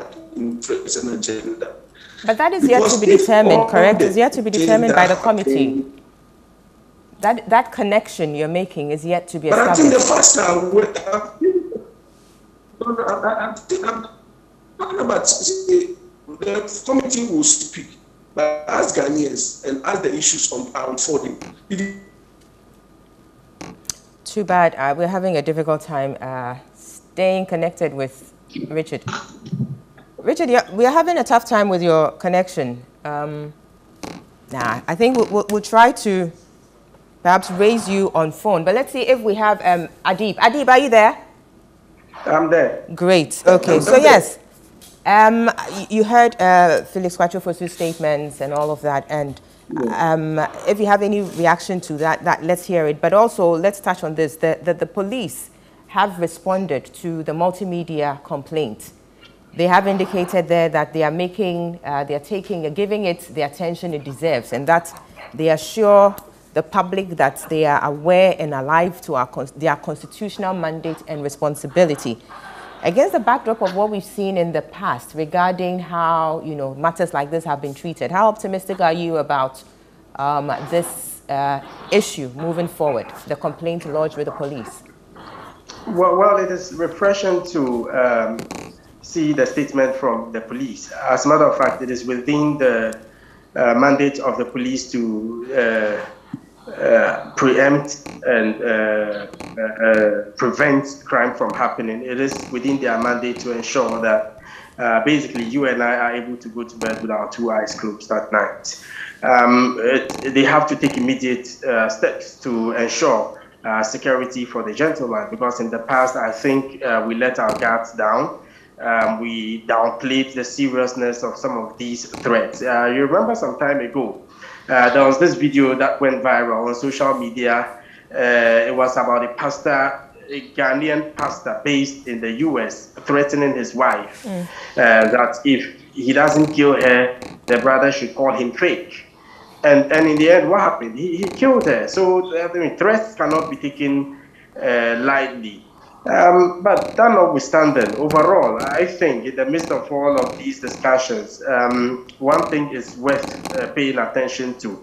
That is building institutional capacity to sanitize uh, the airways. I mean, they say the media is a double-edged sword. I mean, it can be used for good, uh, it can be used for bad as well. And uh, it's particularly disturbing in recent times um, once, I mean, rich people or wealthy businessmen are able to open media houses. And the problem is we have the institutions to ensure that the media landscape, you know, is sanitized. Mm-hmm. But the biggest threat, the biggest threat is the seeming over politicization of these, you know, regulators, right. uh, like the NCA, the the uh, uh, uh, that I, I, actually we even have uh, civil society playing uh, a major role now because it looks more like we cannot completely uh, trust the, the, the, these, these regulators to do a good work. Uh, so we have foundations such as the Media Foundation for West Africa coming out with their periodic reports on the use of uh, intemperate languages on um, uh, the, the media. But overall, I think that uh, these institutions have a very important role to play, but that can only be realized if we detach the politics mm. from it. And earlier, uh, Mr. Bombande said something that I found captivating. Uh, that is the issue of politics and how it has permeated through the society to the extent that, from my opinion, um, uh, you see a, a, a, black sheep, you would be forced to say it is white because of your political inclinations. Sometimes when things happen on social media, for example, someone someone losing an eye, uh, the first question that is asked is, is he NDC or NPP? Once it is your party, yeah. your position, your perception, your opinions is different if it is uh, from from the other side. So I think that is worrying, and this, even though it's sad, should present to us a unique opportunity to look at the legislations, especially on hate speech, so we are able to deal with this once and for all. But if the legislations exist without uh, implementation or exactly. enforcement, then yet another uh, sure. law on paper which which would do nothing or amount to nothing. Very well. Thank you for that, Adib. Uh, Felix, quick yeah. one though. Um, too bad we couldn't hear um, Richard all through, but at least he indicated that, you know, there was a connection between the kind of reportage that was put out and the subsequent action um, by um, Honorable Kennedy Agyapong, trying to establish, you know, is connect the all, two. What do you make of that? Is it, that's in respect of the Ejura? Yeah, exactly. First of all, uh, let me say hello to Richard. I know that Richard is, a, is an extremely well-behaved and moderate uh, politician, a member of the NPP. Mm. I'm a bit surprised at the effort to justify Mr. Agyapong's statement. First of all, I disagree entirely with the notion that the media has any role to play or had any role to play at all uh, in the fomenting of disturbances in Ejura. But that is not the subject for discussion. Mm -hmm. Indeed, the media only covered what had happened in Ejura. But, but, that is yet to be determined whether yes, or not. That, absolutely. Because but indeed, if something happened to, there's a responsibility. No, but no, no, the point I'm making, I disagree mm. because we have sure. all followed it. I disagree mm -hmm. strenuously with all those who have sought to shift blame on the Ejura disturbances right. onto the media. But that is a, a, conversation we can have later. But I'm not assuming without admitting that even Erastus Asare-Donkor erred in any way, shape, mm -hmm. or form in his reportage over the Ejura matter. It does not lie in the mouth of Kennedy Agyapong to call on people to assault him. Mm -hmm. That cannot be acceptable. So it should not be cited in the first place as a defense right. for what Kennedy Agyapong did. So I'm quite surprised that my friend Richard would lend himself to this kind of narrative. It is a dubious narrative, and it is not one that we must accept. Mm. Nobody has a right to constitute himself into a judge and pronounce judgment and punishment on anybody for perceived wrongdoing. Right. If Erastus Asare-Donkor erred, there's a commission of inquiry looking into the matter. There are a plethora of avenues through which he can be dealt with or his professional mm. conduct can be called into question. Right. So that, in my view, cannot be cited as reason for Kennedy Agyapong's conduct. Very because well. we all know that he has done this over the period and he has not required any motivation of the sort that has happened in Nigeria today. You see, primarily, uh, sorry, uh, Abraham, mm -hmm. the point I made earlier about the need for state institutions to intervene is that there is best practice elsewhere. Sure. In February this year, the U.S. Congress, they removed a Republican congresswoman, Marjorie Taylor, from a number of committees because of comments she made in support of Donald Trump. Mm. And some of those people who voted for her to be removed were Republican congressmen. Right. They did not show their behind party lines right. and allow her behavior to go. The final point, Mr. Yes. Raised the issue of regulation. Mm. Look, it is not beyond. I was a deputy minister for communications, so I know that it is not beyond the capacity of regulatory bodies like the NCA or NMC to take action in respect of what Kennedy Agyapong is doing. Right. If the, you see, I do not have a problem with political ownership of media houses. Mm. That is not a problem because there are many political individuals sure. or politicians who own media houses who are operating responsibly. That's the way and in tandem, sure. and in tandem with our laws, rules, mm. and regulations. So a blanket ban sure. on that would affect innocent people. Definitely. But let us isolate wrongdoers exactly. and prescribe appropriate sanctions for them. That for me let the law work will be the greatest deterrent Very well. rather than seeking to box let everybody Let me quickly together. get to uh, Mr. Mm -hmm. Bombande. Mr. Bombande will be leaving us very soon. So sure. let me get to him for his concluding remarks. Mr. Bombande, can you hear me? Yes, I can hear you. Great, yes. So uh, concluding remarks, any word of advice moving forward, what to do to, you know, uh, media practitioners, institutions that are mandated to, you know, keep the space uh, sanitized and all of that, briefly? Uh, very quickly, mm. my first observation would be that I don't want a situation in which a, a journalist is covering an event and having second doubts as to whether her work or his work can be viewed by some personalities to be correct or not. Because if we get to that level, we bring harm to us in terms of our democratic dispensation and consolidation. Mm. So let the media, let, let the journalists have the space to be able to do their work just like other professions. And that when mistakes are made, they are held accountable by their peers, they are held accountable by the, mm. the critique of their work that makes them to improve on the way they work. Right. But not for them to be having second thoughts as to who will judge their work, because then it becomes inhibiting and it limits them. Mm. Second, look at uh, was it uh, when we talk about accountability, accountability happens even in a more proper perspective when there is a peer review and accountability. And that's why uh, for our uh, brother Richard uh, uh Asante Yeboah, I don't know to what extent he can bring this about. Let me just give an example. Was it Thursday or Friday or yesterday? Two NDC MPs in Parliament disagree on their perspectives about the loan for MPs' cars. Uh, Honorable Murtala Mohammed and Honorable Ablakwa. But they, they belong to the same party they are in parliament together as NDC MPs, but on a particular issue, they disagree. Now, that for me is the way we should go forward in our democratic practice. We can disagree on issues and yet belong to our political dispensations and continue to develop the democracy of Ghana. Yeah. If NPP cannot hold uh, Honorable Kennedy Agyapong accountable, any comment from NDC then is interpreted as partisan politics. But it is not about partisan politics. It is the deviant behavior of an individual that is sending all of us down that right. we do not want. And finally, mm. I, I, I agree with the point about the media should be in the forefront of stopping their freedoms and their liberties and their practice from being chipped away constantly by the type of comments that brought us into this conversation. And they can then be supported. And if they are mute, uh, when media freedoms are being uh, degra- uh, uh, denigrated and taken away from them, it becomes difficult to uh, pursue and support their matter. But the reason why they refuse to act is because the media has allowed extreme levels of partisanship. And again, let me be careful here and not generalize it.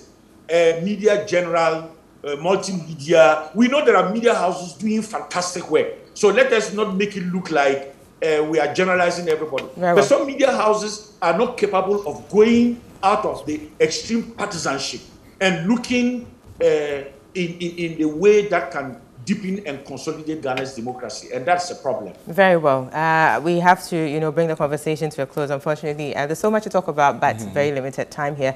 We need to move on to other matters, but let me say a big, big thank you to uh, Mr. Emmanuel Bombande, UN Senior Mediation Advisor, also uh, the founding director of the West African Network for Peace Building, WANEP. We do appreciate your time. Um, also, but Felix... You don't, you don't you don't add I was a former deputy minister of foreign affairs and regional integration. Very well, you that's true. That. Very well. Forgive me. Forgive me. That's true. Yes, that's true. That's fine. Um, good. So indeed, you have added that onto, and indeed that is true. Former uh, Deputy um, Director, sorry, Minister for uh, Foreign Affairs and Regional Integration, Mr. Emmanuel Bombande. Also, Felix Kwakye Ofosu, former Deputy Minister for Communications. He will be joining us on the next uh, conversation. But also thank you to Adib Sani, security analyst, and quite briefly there we had Richard Asante join us from the NPP. We'll take a quick break. When we come back, we turn our attention to matters concerning um, allowances and or salaries for presidential spouses. We'll see you after the break.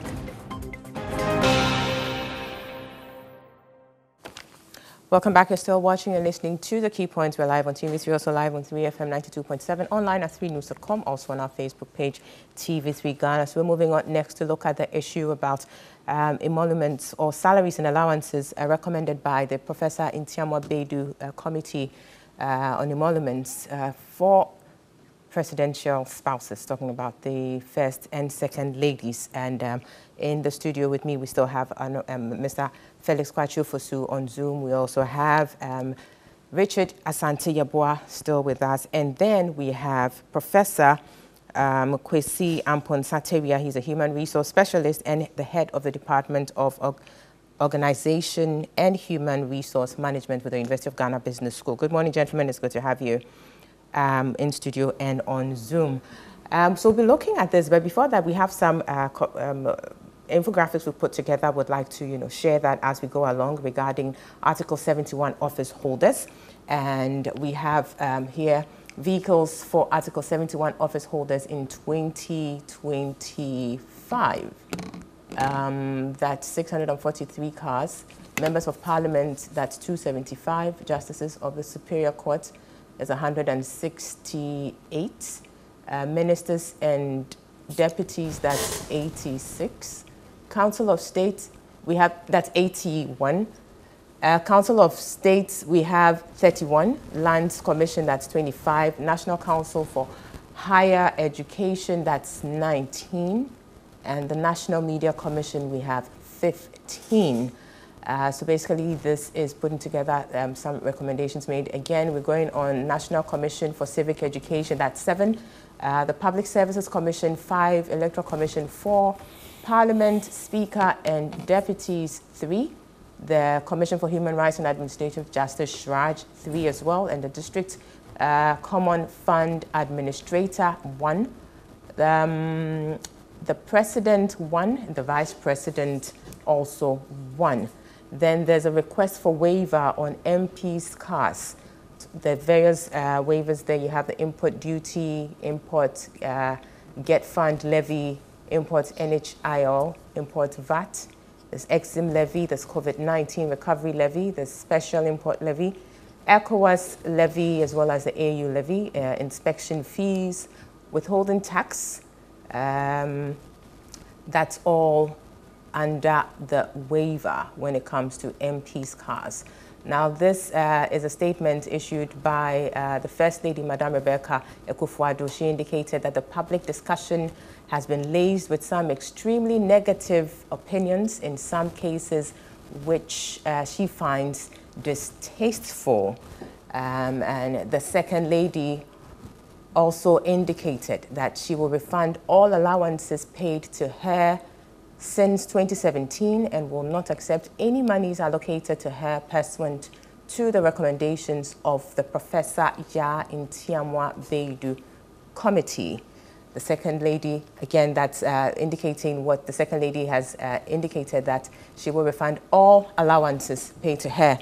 Now, this obviously came on the back of uh, the whole brouhaha following uh, the Professor Ntiamoa Baidu committee report that recommended uh, that the first and second ladies be paid salaries pegged at the level of cabinet ministers. Now, I will be moving on to Zoom to speak directly to Professor uh, Kwesi Amponsah-Tawiah. He is coming from the University of Ghana Business School, a human uh, resource specialist, and to have his take on this. Professor, can you hear me? Yes, please. Good. So obviously this conversation has generated a whole lot of, uh, you know, controversy, debates around it. Fundamental here is a question about human resource and how to deal with that. Questions have been raised about why pay salaries to first and second ladies when they have not been assigned any duties. Uh, raising the constitutional issue about the, even the appropriateness or otherwise of, you know, a committee set up pursuant to Article 71 making recommendations about the first or for the first and second ladies who are not named under Article 71. As a human resource specialist following this discussion, um, what are your views? How do you see this going, uh, you know, being resolved? And thank you very much. Let me take the opportunity also to uh, greet my very good friend Felix and uh, Richard on the other side. And say that, well, I guess this has been a practice in the country where people are assigned responsibilities without even being given job descriptions and all those bits in our country. And that is the extent to which we've gone, bringing it into the broader space and the larger space where we find ourselves in now.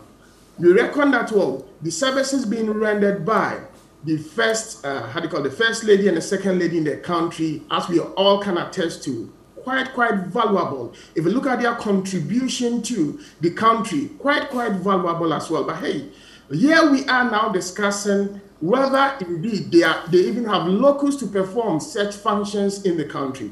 And it does happen.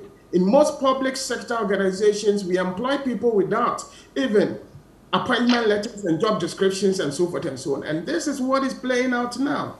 It is a truism that, well, yes, these people are, are, are, are offering themselves out there to be of support too. If you look at what the First Lady did at Anokye, quite super in terms of helping out with the hospital over there and also other activities that she's been engaged in. If you look at what the Second Lady is doing as providing inspiration to the Zongo ladies and providing support, quite, quite, quite good over there. But the question we need to address is what is the locus? What is their locus? And that is where we should be moving towards in terms of providing clear directions. Do they have any description? Now that we are we we, we be saying that well, whatever um, uh, allowances they enjoyed in the past was quite illegal and so forth. And what about the offices they've been uh, occupied? What about the staff who work in there? As private citizens that we live, do we have people working for us in our office? No, but that is what is happening now. It is clear if we recognize that their roles in the country tend to be quite important. Yes, the time has come that we'll have a dispassionate discussion about the roles of first ladies and second ladies and looking at the past, their contribution that they made to the country.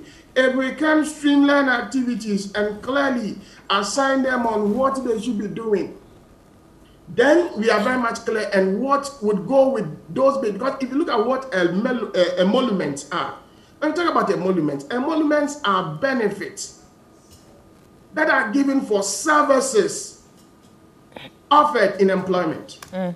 so who um, uh, offer them the employment? We need to talk about it. Indeed they are offering services. Who offer that employment for them to offer that service? And what was the conditions of engagement? And i guess that that is where we are getting to. We should look at it from the broader sense of our country. Where in our country people and i keep emphasizing people are employed in roles in the organization without even an appointment letter without job descriptions and they are drawing salaries which indeed actually drains the government as well I believe that well, I'm not by this saying that well the first and the second lady uh, they are draining their economy. That's not what I'm implying because well I can say that well their contribution largely to the development of the country is something that needs to be commended. Yeah. But then in doing so we need to streamline activities and make it clear on what their responsibilities are supposed to should be given clear directions on what they should be doing. Very well. Uh, you talk about streamlining. We'll be engaging that uh, momentarily, but let's let me have your views on this. So, following this whole discussion, the first lady, second lady, they've both returned um, the sums that were paid to them since 2017. Um, what do you make of this return of the funds paid to or sums paid to them? And do you think that would resolve this whole uh, discussion around uh, whether or not first lady, second lady should even be given um, allowances or salaries? I don't think that it will resolve the issue. I don't think it will resolve because the issue it is just the salary we are talking about. But hey, we all very much aware that the first lady and the second lady, the first lady and the second lady occupy offices and they have staff who work with them in those offices. Mm. It is very important that we understand that. Very well. But what, what's, what's your perspective on the return of the funds? Should they have returned it or they should have kept it?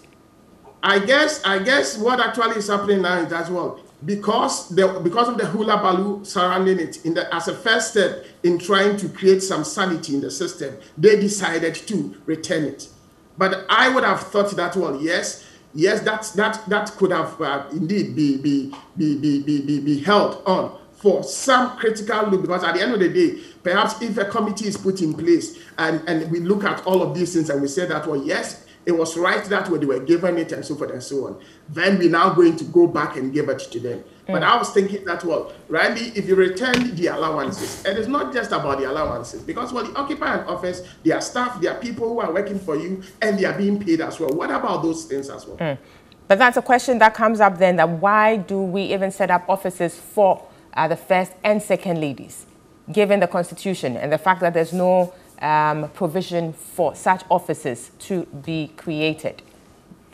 Rightly so, and that is why I make the point that well, it is very important that well, we take a dispassionate look at this and we try as much as possible recognize them that well their roles in the development of the country. I mean if i if if i cast my mind back and i look at uh, the the first ladies in the past and what they've done their contribution i guess that well yes we can.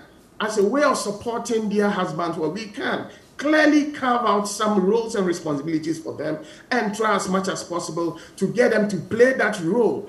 Also to help in the functioning of the presidency as well. So for me, I am very much clear in my mind that well, yes, it is something that well we should sit down and begin having a discussion around it and try and assign them because well, if you're paying them allowances, if you're paying them salaries, for what are you paying them for? Mm. What job have you given them that you've given them that allowances? Right. And that is where we need to bring clarity to. Sure. Now you talk about streamlining that. So perhaps, um, you know, what would be your recommendation towards the streamlining you suggest? How do we streamline that? Because we do know that in the past, this has been done under uh, allocations, by, uh, allocations to the office of the president. And now we're told that this was an attempt to formalize it. What would you recommend uh, to be the best way uh, to streamline uh, this whole arrangement? First and foremost, as somebody who is an organizational development specialist, I will indicate that well. Yes, you see, when you talk about change, change is not an event, change is a process. So necessarily it is important that well, we conscientize the mind of the citizenry about the critical role of the first lady and the second lady in the development of the country. So that is the first step where we have to engage. And in that engagement, where you bring in on board yes, uh, uh, stakeholders, and it's important that we have a national discussion around this issue. That well, if our first lady and our second lady are playing critical roles in the development of the economy, what then do we need to do for them to ensure or to enhance their function in the country? Then we can now move on. And I would expect that well, because of the polarized, the polarized nature of our country in terms of politics, I would rather would recommend that well, you, you assemble experts to be looking at these things and, and much more in a stakeholder engagement, try as much as possible to build consensus around this. And once we've been able to build consensus around this, then we can now put it in a document. If it has to now get into an amendment in our constitution where it features in there, then it can feature in there. Then we can have a roadmap of getting it underway. Very well. Now, lastly, um, in the, the first and second ladies in their statements indicating that they had returned the monies paid them since 2017 indicated that, yes, we're returning this, but also we're putting you on notice that we will not be accepting any future allowances. Do you think that is the right course, even as we think of how best to deal with the arrangements? Do you think moving forward they shouldn't even take uh, salaries?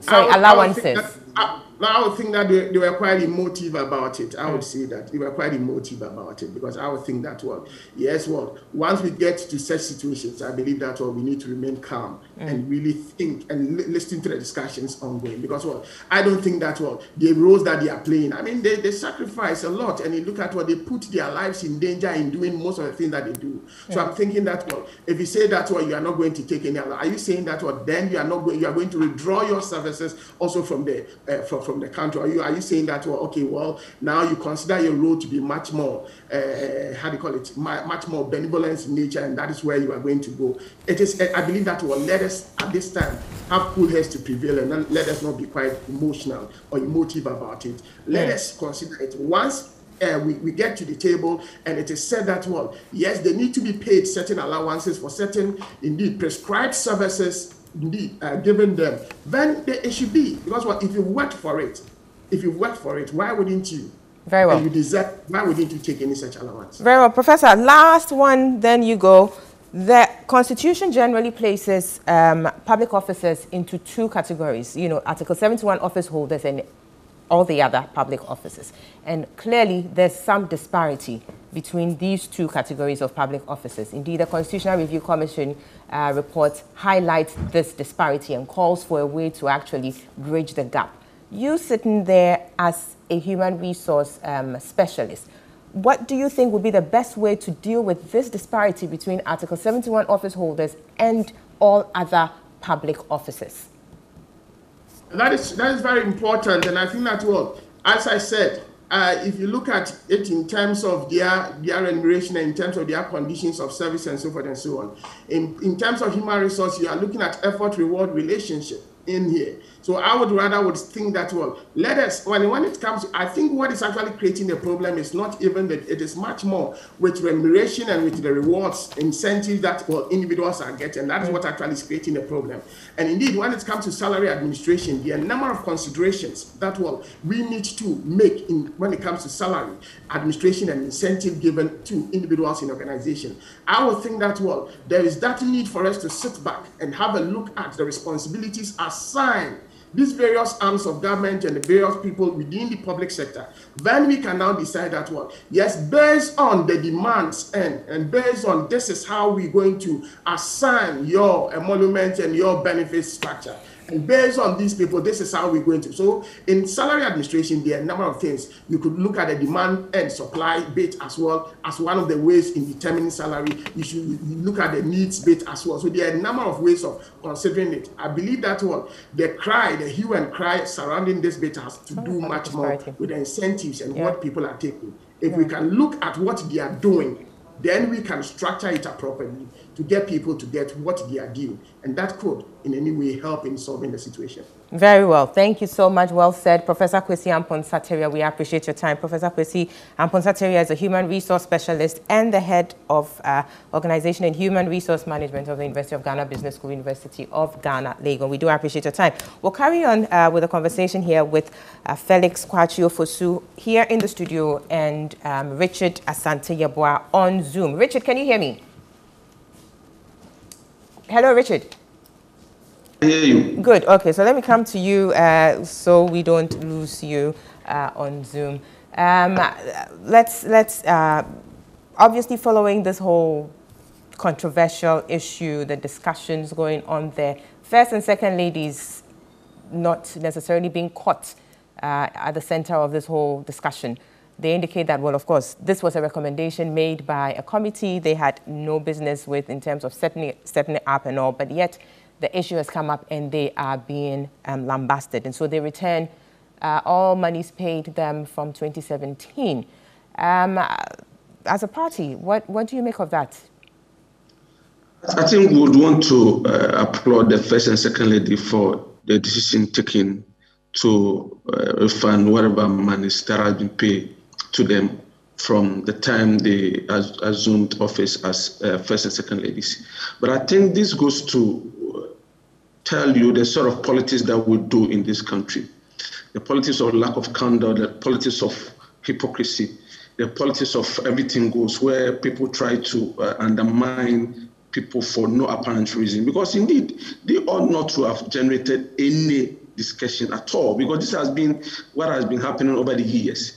The only thing that has happened or was supposed to have happened was the fact that these things were being um, uh, regularized so that it will not be paid uh, under the table, but people would know indeed what their monies are being used for. That is what was going to happen, looking at the, the recommendation by the committee. You might disagree with the, the, the, the constitutionality of the decision by the committee and all that, but beyond that, one cannot do the sort of attribution that was done during the period that this issue uh, came up. where we're being told that the president had decided to pay their wife and uh, uh, uh, the second lady monies when Ghanaians are not being given the needed attention and all that, when indeed those who were making those attributions knew that indeed they were being paid, including the NDC themselves. They knew that Ma- Ma- Ma- Madame Lordina and other former first ladies were being paid, and this culture started as far back as President Rawlings and President Kufuor saw it through. Mr. Uh, Prof. Mills came and he also did it Eh, eh, eh, president Mahama also got this opportunity and continue with the tradition because of the fact that we needed to take care of our former first ladies in terms of particularly the, the, those who husband had passed on and all that, that they needed some level of uh, attention from the state. I thought that, that this shouldn't have generated any difficulty because as we speak now, people ask, what is, is the uh, former president, the former first ladies working for the state? Is the former second ladies working for the state? I sit here, my brother Felix Ofosu-Kwakye is with President Mahama's office. He's being paid on a monthly basis by the government. Every month he's paid. So are we saying that uh, my brother Felix is doing more than what these first and second ladies are doing and aside they don't deserve to be paid? Is it the argument? Is it a conversation? So I said that, I mean, I'm excited that they chose to refund the monies and also said that they are not even going to take any future monies that would be, uh, uh, uh, that they still would want to pay to them. Because even it came to a point that the media, the sort of uh, imagery that was being created, that these are people who are out there to do and also milk the states. And this is also unfair. We saw the kind of headlines that came up there. So we ask ourselves, I remember TUC even getting it wrong by saying that uh, they've been paid some back pays and all that, so they need to refund all those funds. When they have not even been paid, it was a recommendation, but that particular back pay has not been given to them. But the, uh, we had TUC getting it wrong in that direction. But then the, the most important thing is that uh, Madam uh, the first lady has refunded, the second lady has refunded. I pray that Madame Lordina will also look at this gesture and also refund hers. So at least we can have a very uh, beautiful conversation going into the future because well. the husband, being the former president, twisting the issues and making them matters milkier and misrepresenting the matters. And these are the issues that we are talking about here. Right. If we can really focus and do politics with some level of candor, do politics with lack of hypocrisy and propaganda, wanting to take advantage of every single event and issue that crops up, and be very fair to ourselves. This ought not to have generated any conversation at all. Because I sit here, I know the kind of work that various former for, uh, first ladies, including the current first lady, have done for this nation. Very well, the Richard. Hospital, the donations and the mobilization, and most of them, the money they take, they sure. practically be spent it on the nation. Your point is made. Thanks. Uh, thank you. Let me have let me have uh, Felix's uh, perspective as well. We'll definitely we'll come back to you, uh, Felix. Do you, do, do, you think the first and second ladies have been unfairly treated? You see, Abna. In this whole conversation. You see, Abna, let us put the matters in proper perspective. Mm -hmm. You see, to begin with, those of us in the political class and ruling class, if I may describe it that way, even though I'm not too comfortable with the word class because it connotes I some know. separation. But uh, for the purposes of this group. discussion, maybe yes, maybe political group, group, or ruling group. That is a more appropriate yeah. uh, uh, uh nomenclature, mm-hmm. if you mm-hmm. ask me. Should have it at the back of our minds that it is not our place to argue with those who vote for us. We should be listening to those who vote for us, not argue with them. Mm-hmm. Essentially, what we are doing is arguing with our bosses. If today your boss takes exception to your performance and calls you to his office or her office and blasts you, it is not your place to talk back at him or her. Maybe you're just you're it is just your place. Correcting certain no, facts. You know the there narrative is, better, perhaps, between, and so you would need to set there's a the difference between explaining. Mm-hmm. Even the explanation has to take into consideration their sensibilities and frustrations mm. and the reasons why they are making the statements or advancing the positions that they are advancing.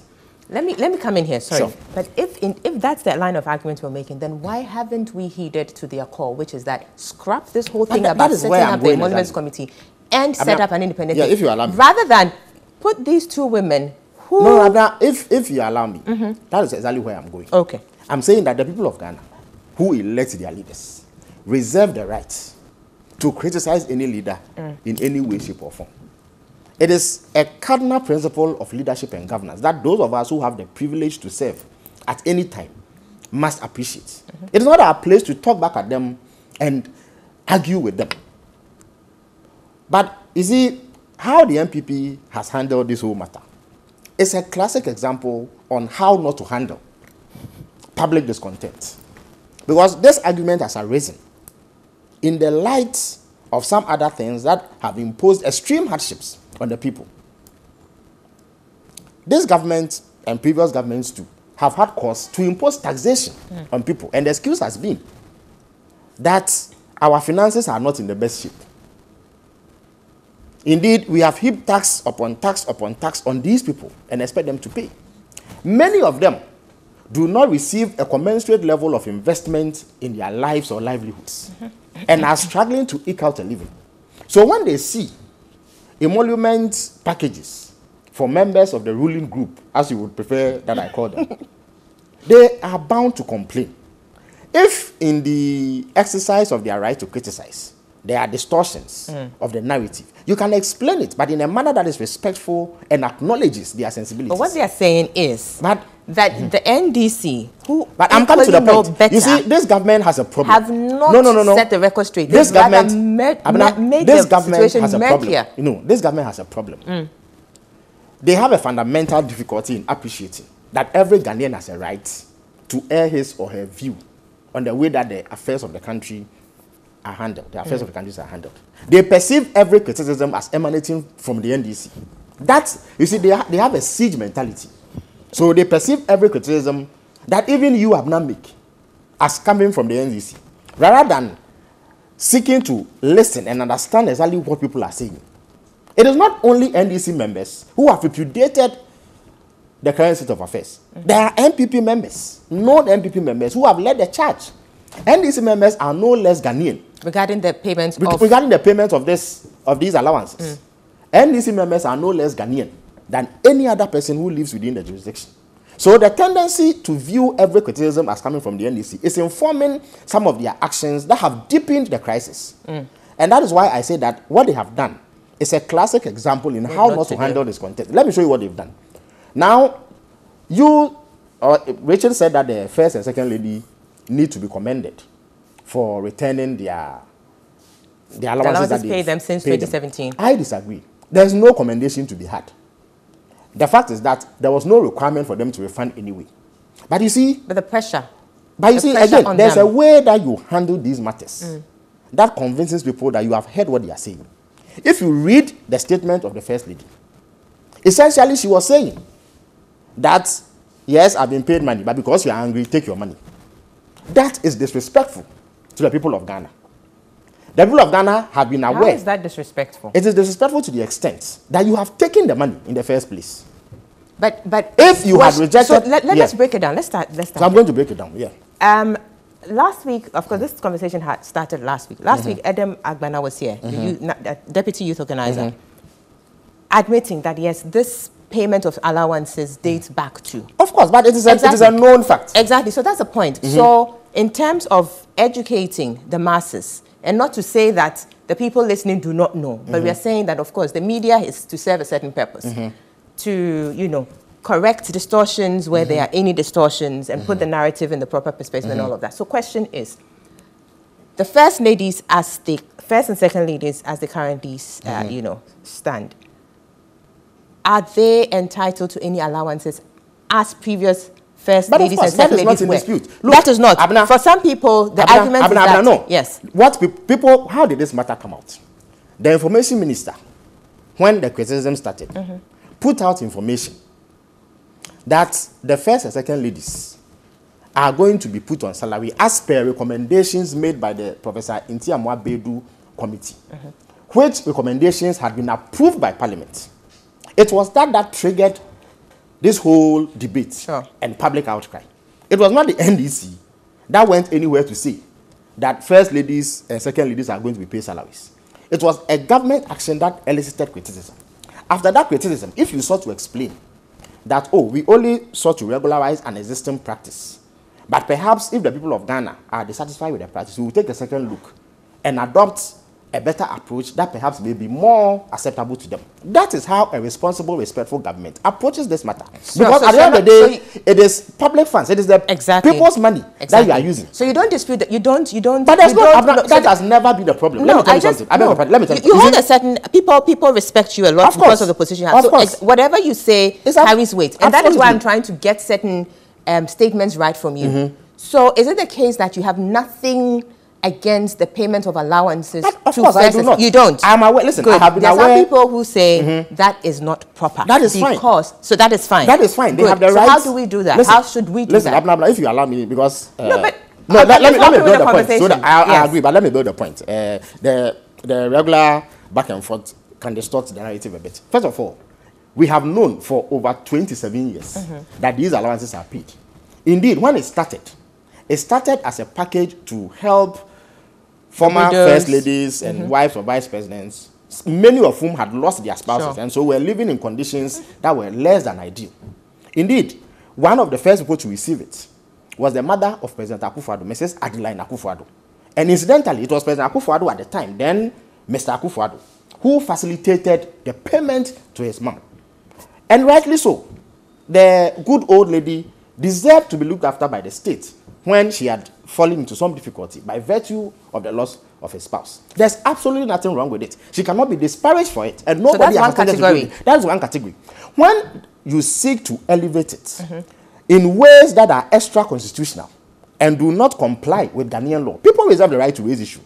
Now, if you seek to explain it, you must explain it in a tone and language that is acceptable to the people. But you don't throw tantrums and thump your nose in their face and tell them that, oh, the, some of the comments are distasteful, so I'm paying back. If in the beginning you had rejected it outright, people would have known that you are coming from a certain place. Why? There are ministers of state yeah. who refuse to take their salary as a goodwill gesture to the people of this country. Mm. People appreciate that. Sure. They are the ones who will have the right in future, if they are accused of some wrongdoing, or even if the narrative is distorted, mm. to express some disquiet.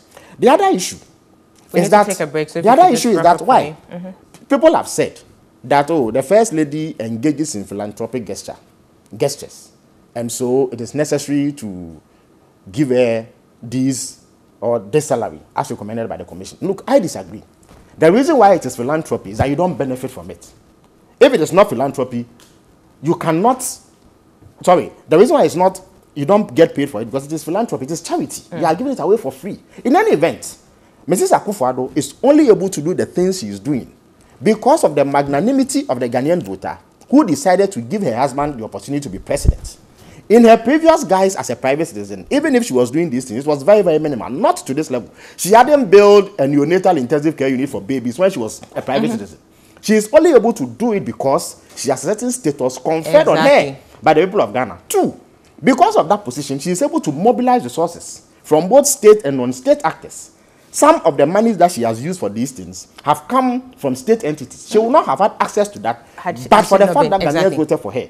So that performance of philanthropic gestures cannot become a justification for getting paid. Indeed, Very she's well. not the only one. Very, I can exactly. give you a tall list Definitely. Right of what Mrs. Mahama has done, but it will not justify paying her sal mm -hmm. salary. But let me tell you what the allowances are for. Look, even ministers of state, the president, mm.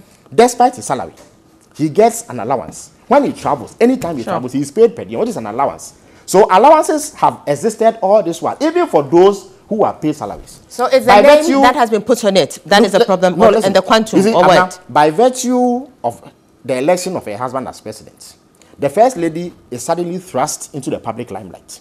Even though she does not have a defined set of responsibilities by way she of being first lady, there are, there are functions that she performs that, albeit unofficial, are also beneficial to the state. And it's not about the charity or philanthropy. You and I can engage in charity and philanthropy sure. even if we are not in mm -hmm. government. You understand me?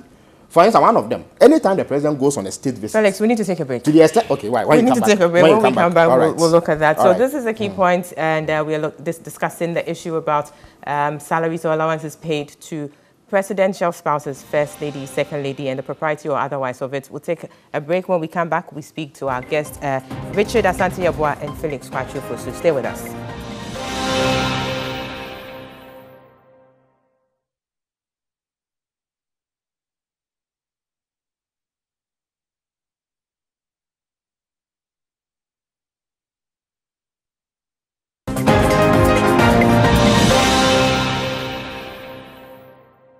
You're still watching and listening to the Key Points. We're live on TV3, also live on 3FM 92.7, online at 3news.com, also on our Facebook page, TV3 Ghana. So currently having a conversation about uh, the presidential spouse uh, allowances and or salaries debate that has come up following uh, the recommendation by the um, Professor Ntiamoa Baidu committee report. And um, we have in the studio Mr. Felix Kwakye Ofosu, former uh, Deputy Minister for Communications. And on Zoom, we have Mr. Richard Asante Yeboah, Deputy Director of Communications with the New Patriotic Party. So let me come to you, Richard. Can you hear me? Yeah, I can hear you. Good, yes. So uh, you, you heard Felix's submissions. Um, the arrangement, this arrangement, as we all know, has been there the, for as long as we know. It started for a certain purpose, catering uh, to the needs of, uh, you know, widows of past presidents or heads of states, and it followed through till current times. Uh, according to Felix, he didn't think that, you know, contrary to your submission where you were actually um, commending the first and second ladies for returning the monies paid them from 2017, he says, well, uh, he doesn't see any uh, need for commendation. It, it, it, you know, there was no um, duty on them to return the money anyways. Uh, what do you make of that and uh, generally your reaction I'm to not surprised. I'm, I'm not, I wasn't expecting anything different from Felix in that regard. I mean, he spoke as Felix Vaughan uh, with the NDC and their, their, their thinking and the mindset and what they seek to achieve with all this game that they play.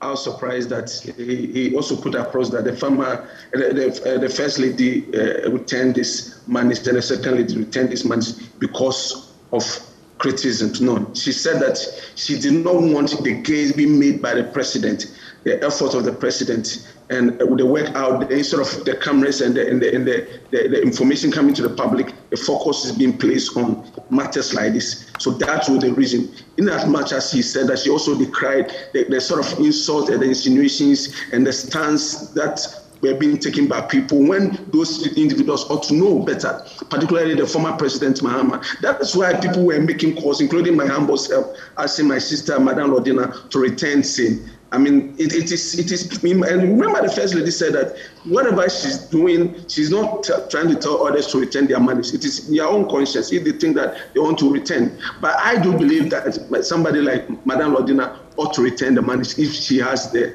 money available with her.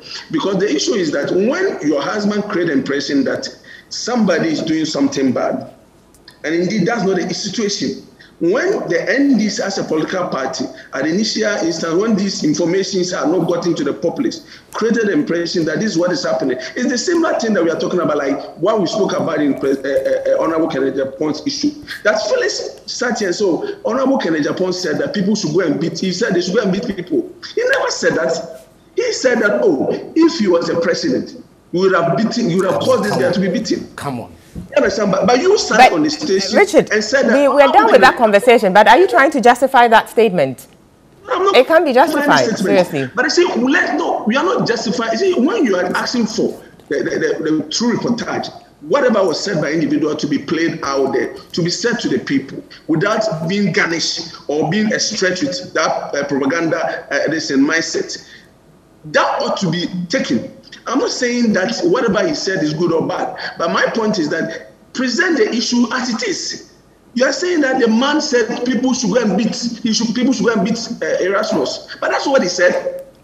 That's what he said. But Felix said that this morning. So this is the kind of politics that we do. When this issue came up, we were told that President Akufo-Addo had decided to pay. Even I saw a headline from Trade Network where the, the online portal said that uh, the first lady and the second lady are supposed to be paid salaries and they are going to be paid salaries. They did not present the issues as ought to be. So these are the things that we talk about. That, you know what? Misreportage, it's a major challenge. And it, I don't want to say that.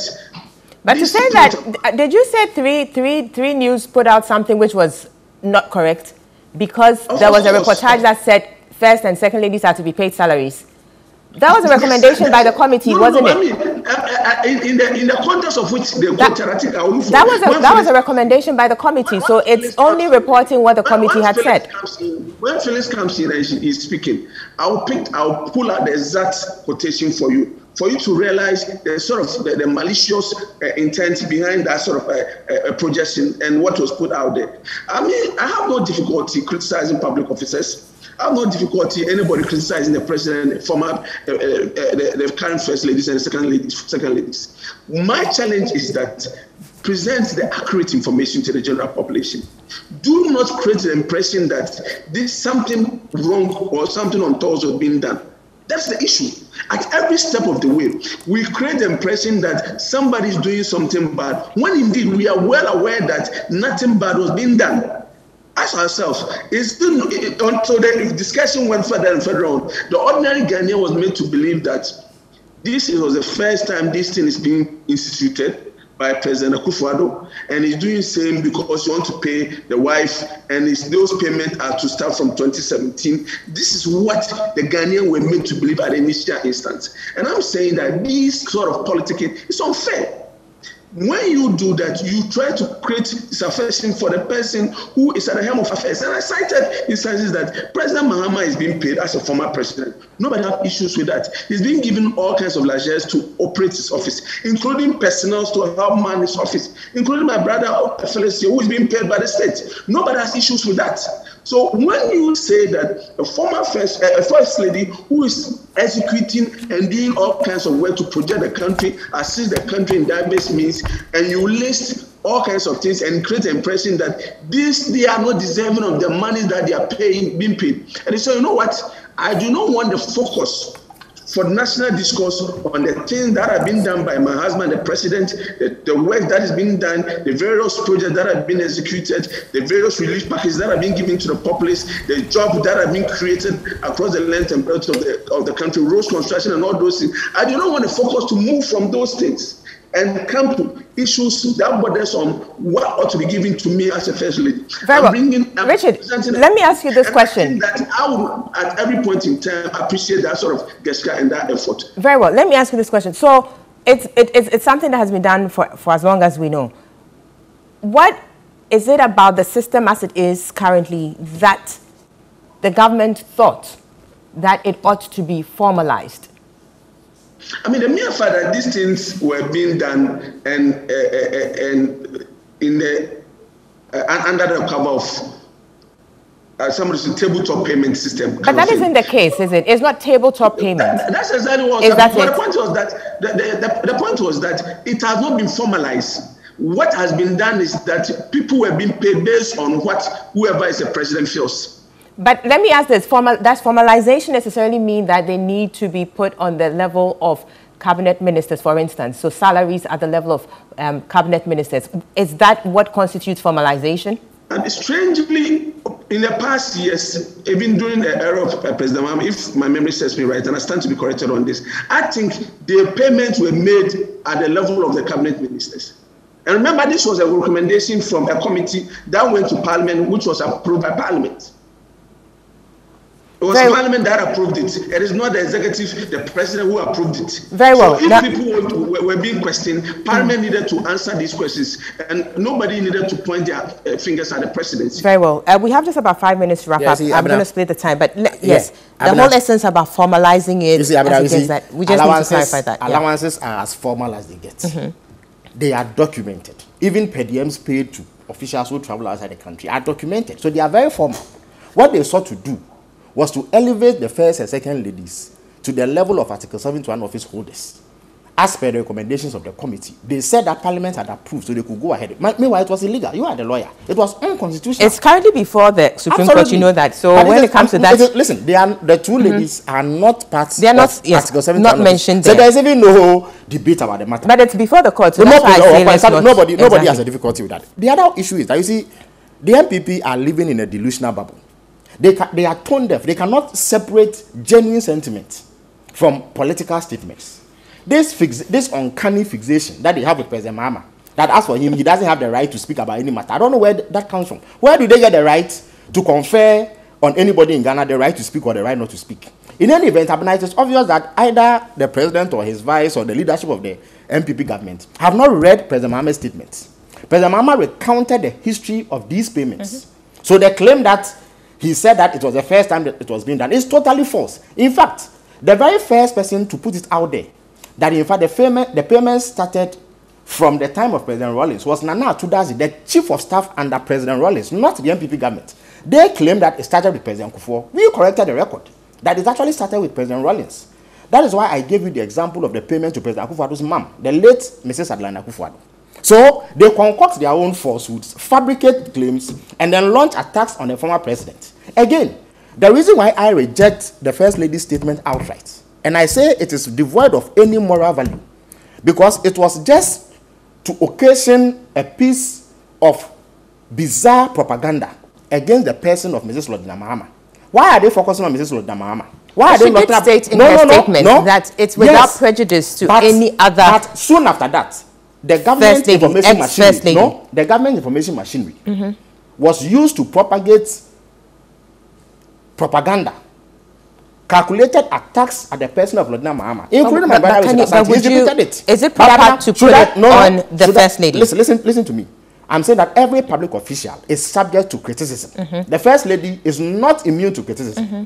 So the mere fact that you've been criticized does not mean that a government should go into the dark art of propaganda and Very target well. others. So we should target we should target Mrs. Theresa Kufuor and Mrs. Ramat, uh, we, Ramatu Mahama because because the first lady has been criticized. Thanks. Let me proper. just have let me just give the rest of the time to Richard. Oh, but I just spoke for two minutes. It's not fair. Two minutes. You only have thirty seconds. about ten minutes. I have spoken for two minutes. I say I'm going to give the last word. How does he get the last word on this matter? Please, Felix. How does he get the last word on this matter? Felix, just be fair. You know, I mean, he definitely also has to have his last word. Yes. You only have 30 seconds, so please don't lament. Just carry on. Do not take undue advantage of your presence in the studio. Well, it's not my fault that you're not in the studio. As far as I'm concerned, you were. 30 seconds. If you fail to show up, I cannot be faulted for it. Yeah. I think uh, we need to understand this, and going forward as a country, we need to take away insults from the kind of politics that we do, and also be fair to the facts we need to appreciate when good things are being done. We need to also be mindful of the, the, reportage from the various media outlets and the things they see. We need to also understand that as a population, in as much as the media can criticize, their work can also be brought under scrutiny. So when they are being scrutinized, people ought not to see them to be they being condemned. Because at the end of the day, when they go wrong, we also need to say that. We also need to appreciate the good work being done by the offices of both the, uh, the First Lady and the Second Lady. What is being done extremely awesome. The great work that they are doing. We need to appreciate that. We need to also understand that in politics, at every point in time, what matters is the populace. And the president has indicated that he will do everything possible to transform this country. And he's doing it. We know the jobs that are being created. We know the roads that are being fixed. We know the water that is being uh, uh expanded across the country, electricity work that has been done. All these things are being well. done to make sure that we project this country. And I, I, I would say kudos to the NPP and the president for the great work that is being done at the moment. Thank you very much for that than previous Thank you very much. Thank you very no much. No previous government paid no, that's fine. salaries. That's fine. No, but let, me, let me just thank no, my viewers and listeners. I all allow that me that. does not justify paying salaries that. to the okay, first thank you so much, Felix Kwakye Ofosu, former deputy right. Minister of Communications, and mm -hmm. Richard the um, Deputy Director of Communications with the NPP. And it's been an exciting time here. I do appreciate your time. And also to you, our viewers and listeners, thank you so much for spending your Saturday morning with us. We do appreciate your time. We'll be back here same time next week. Until then, let the conversation go on and stay safe and stay well. See you next week. Bye-bye.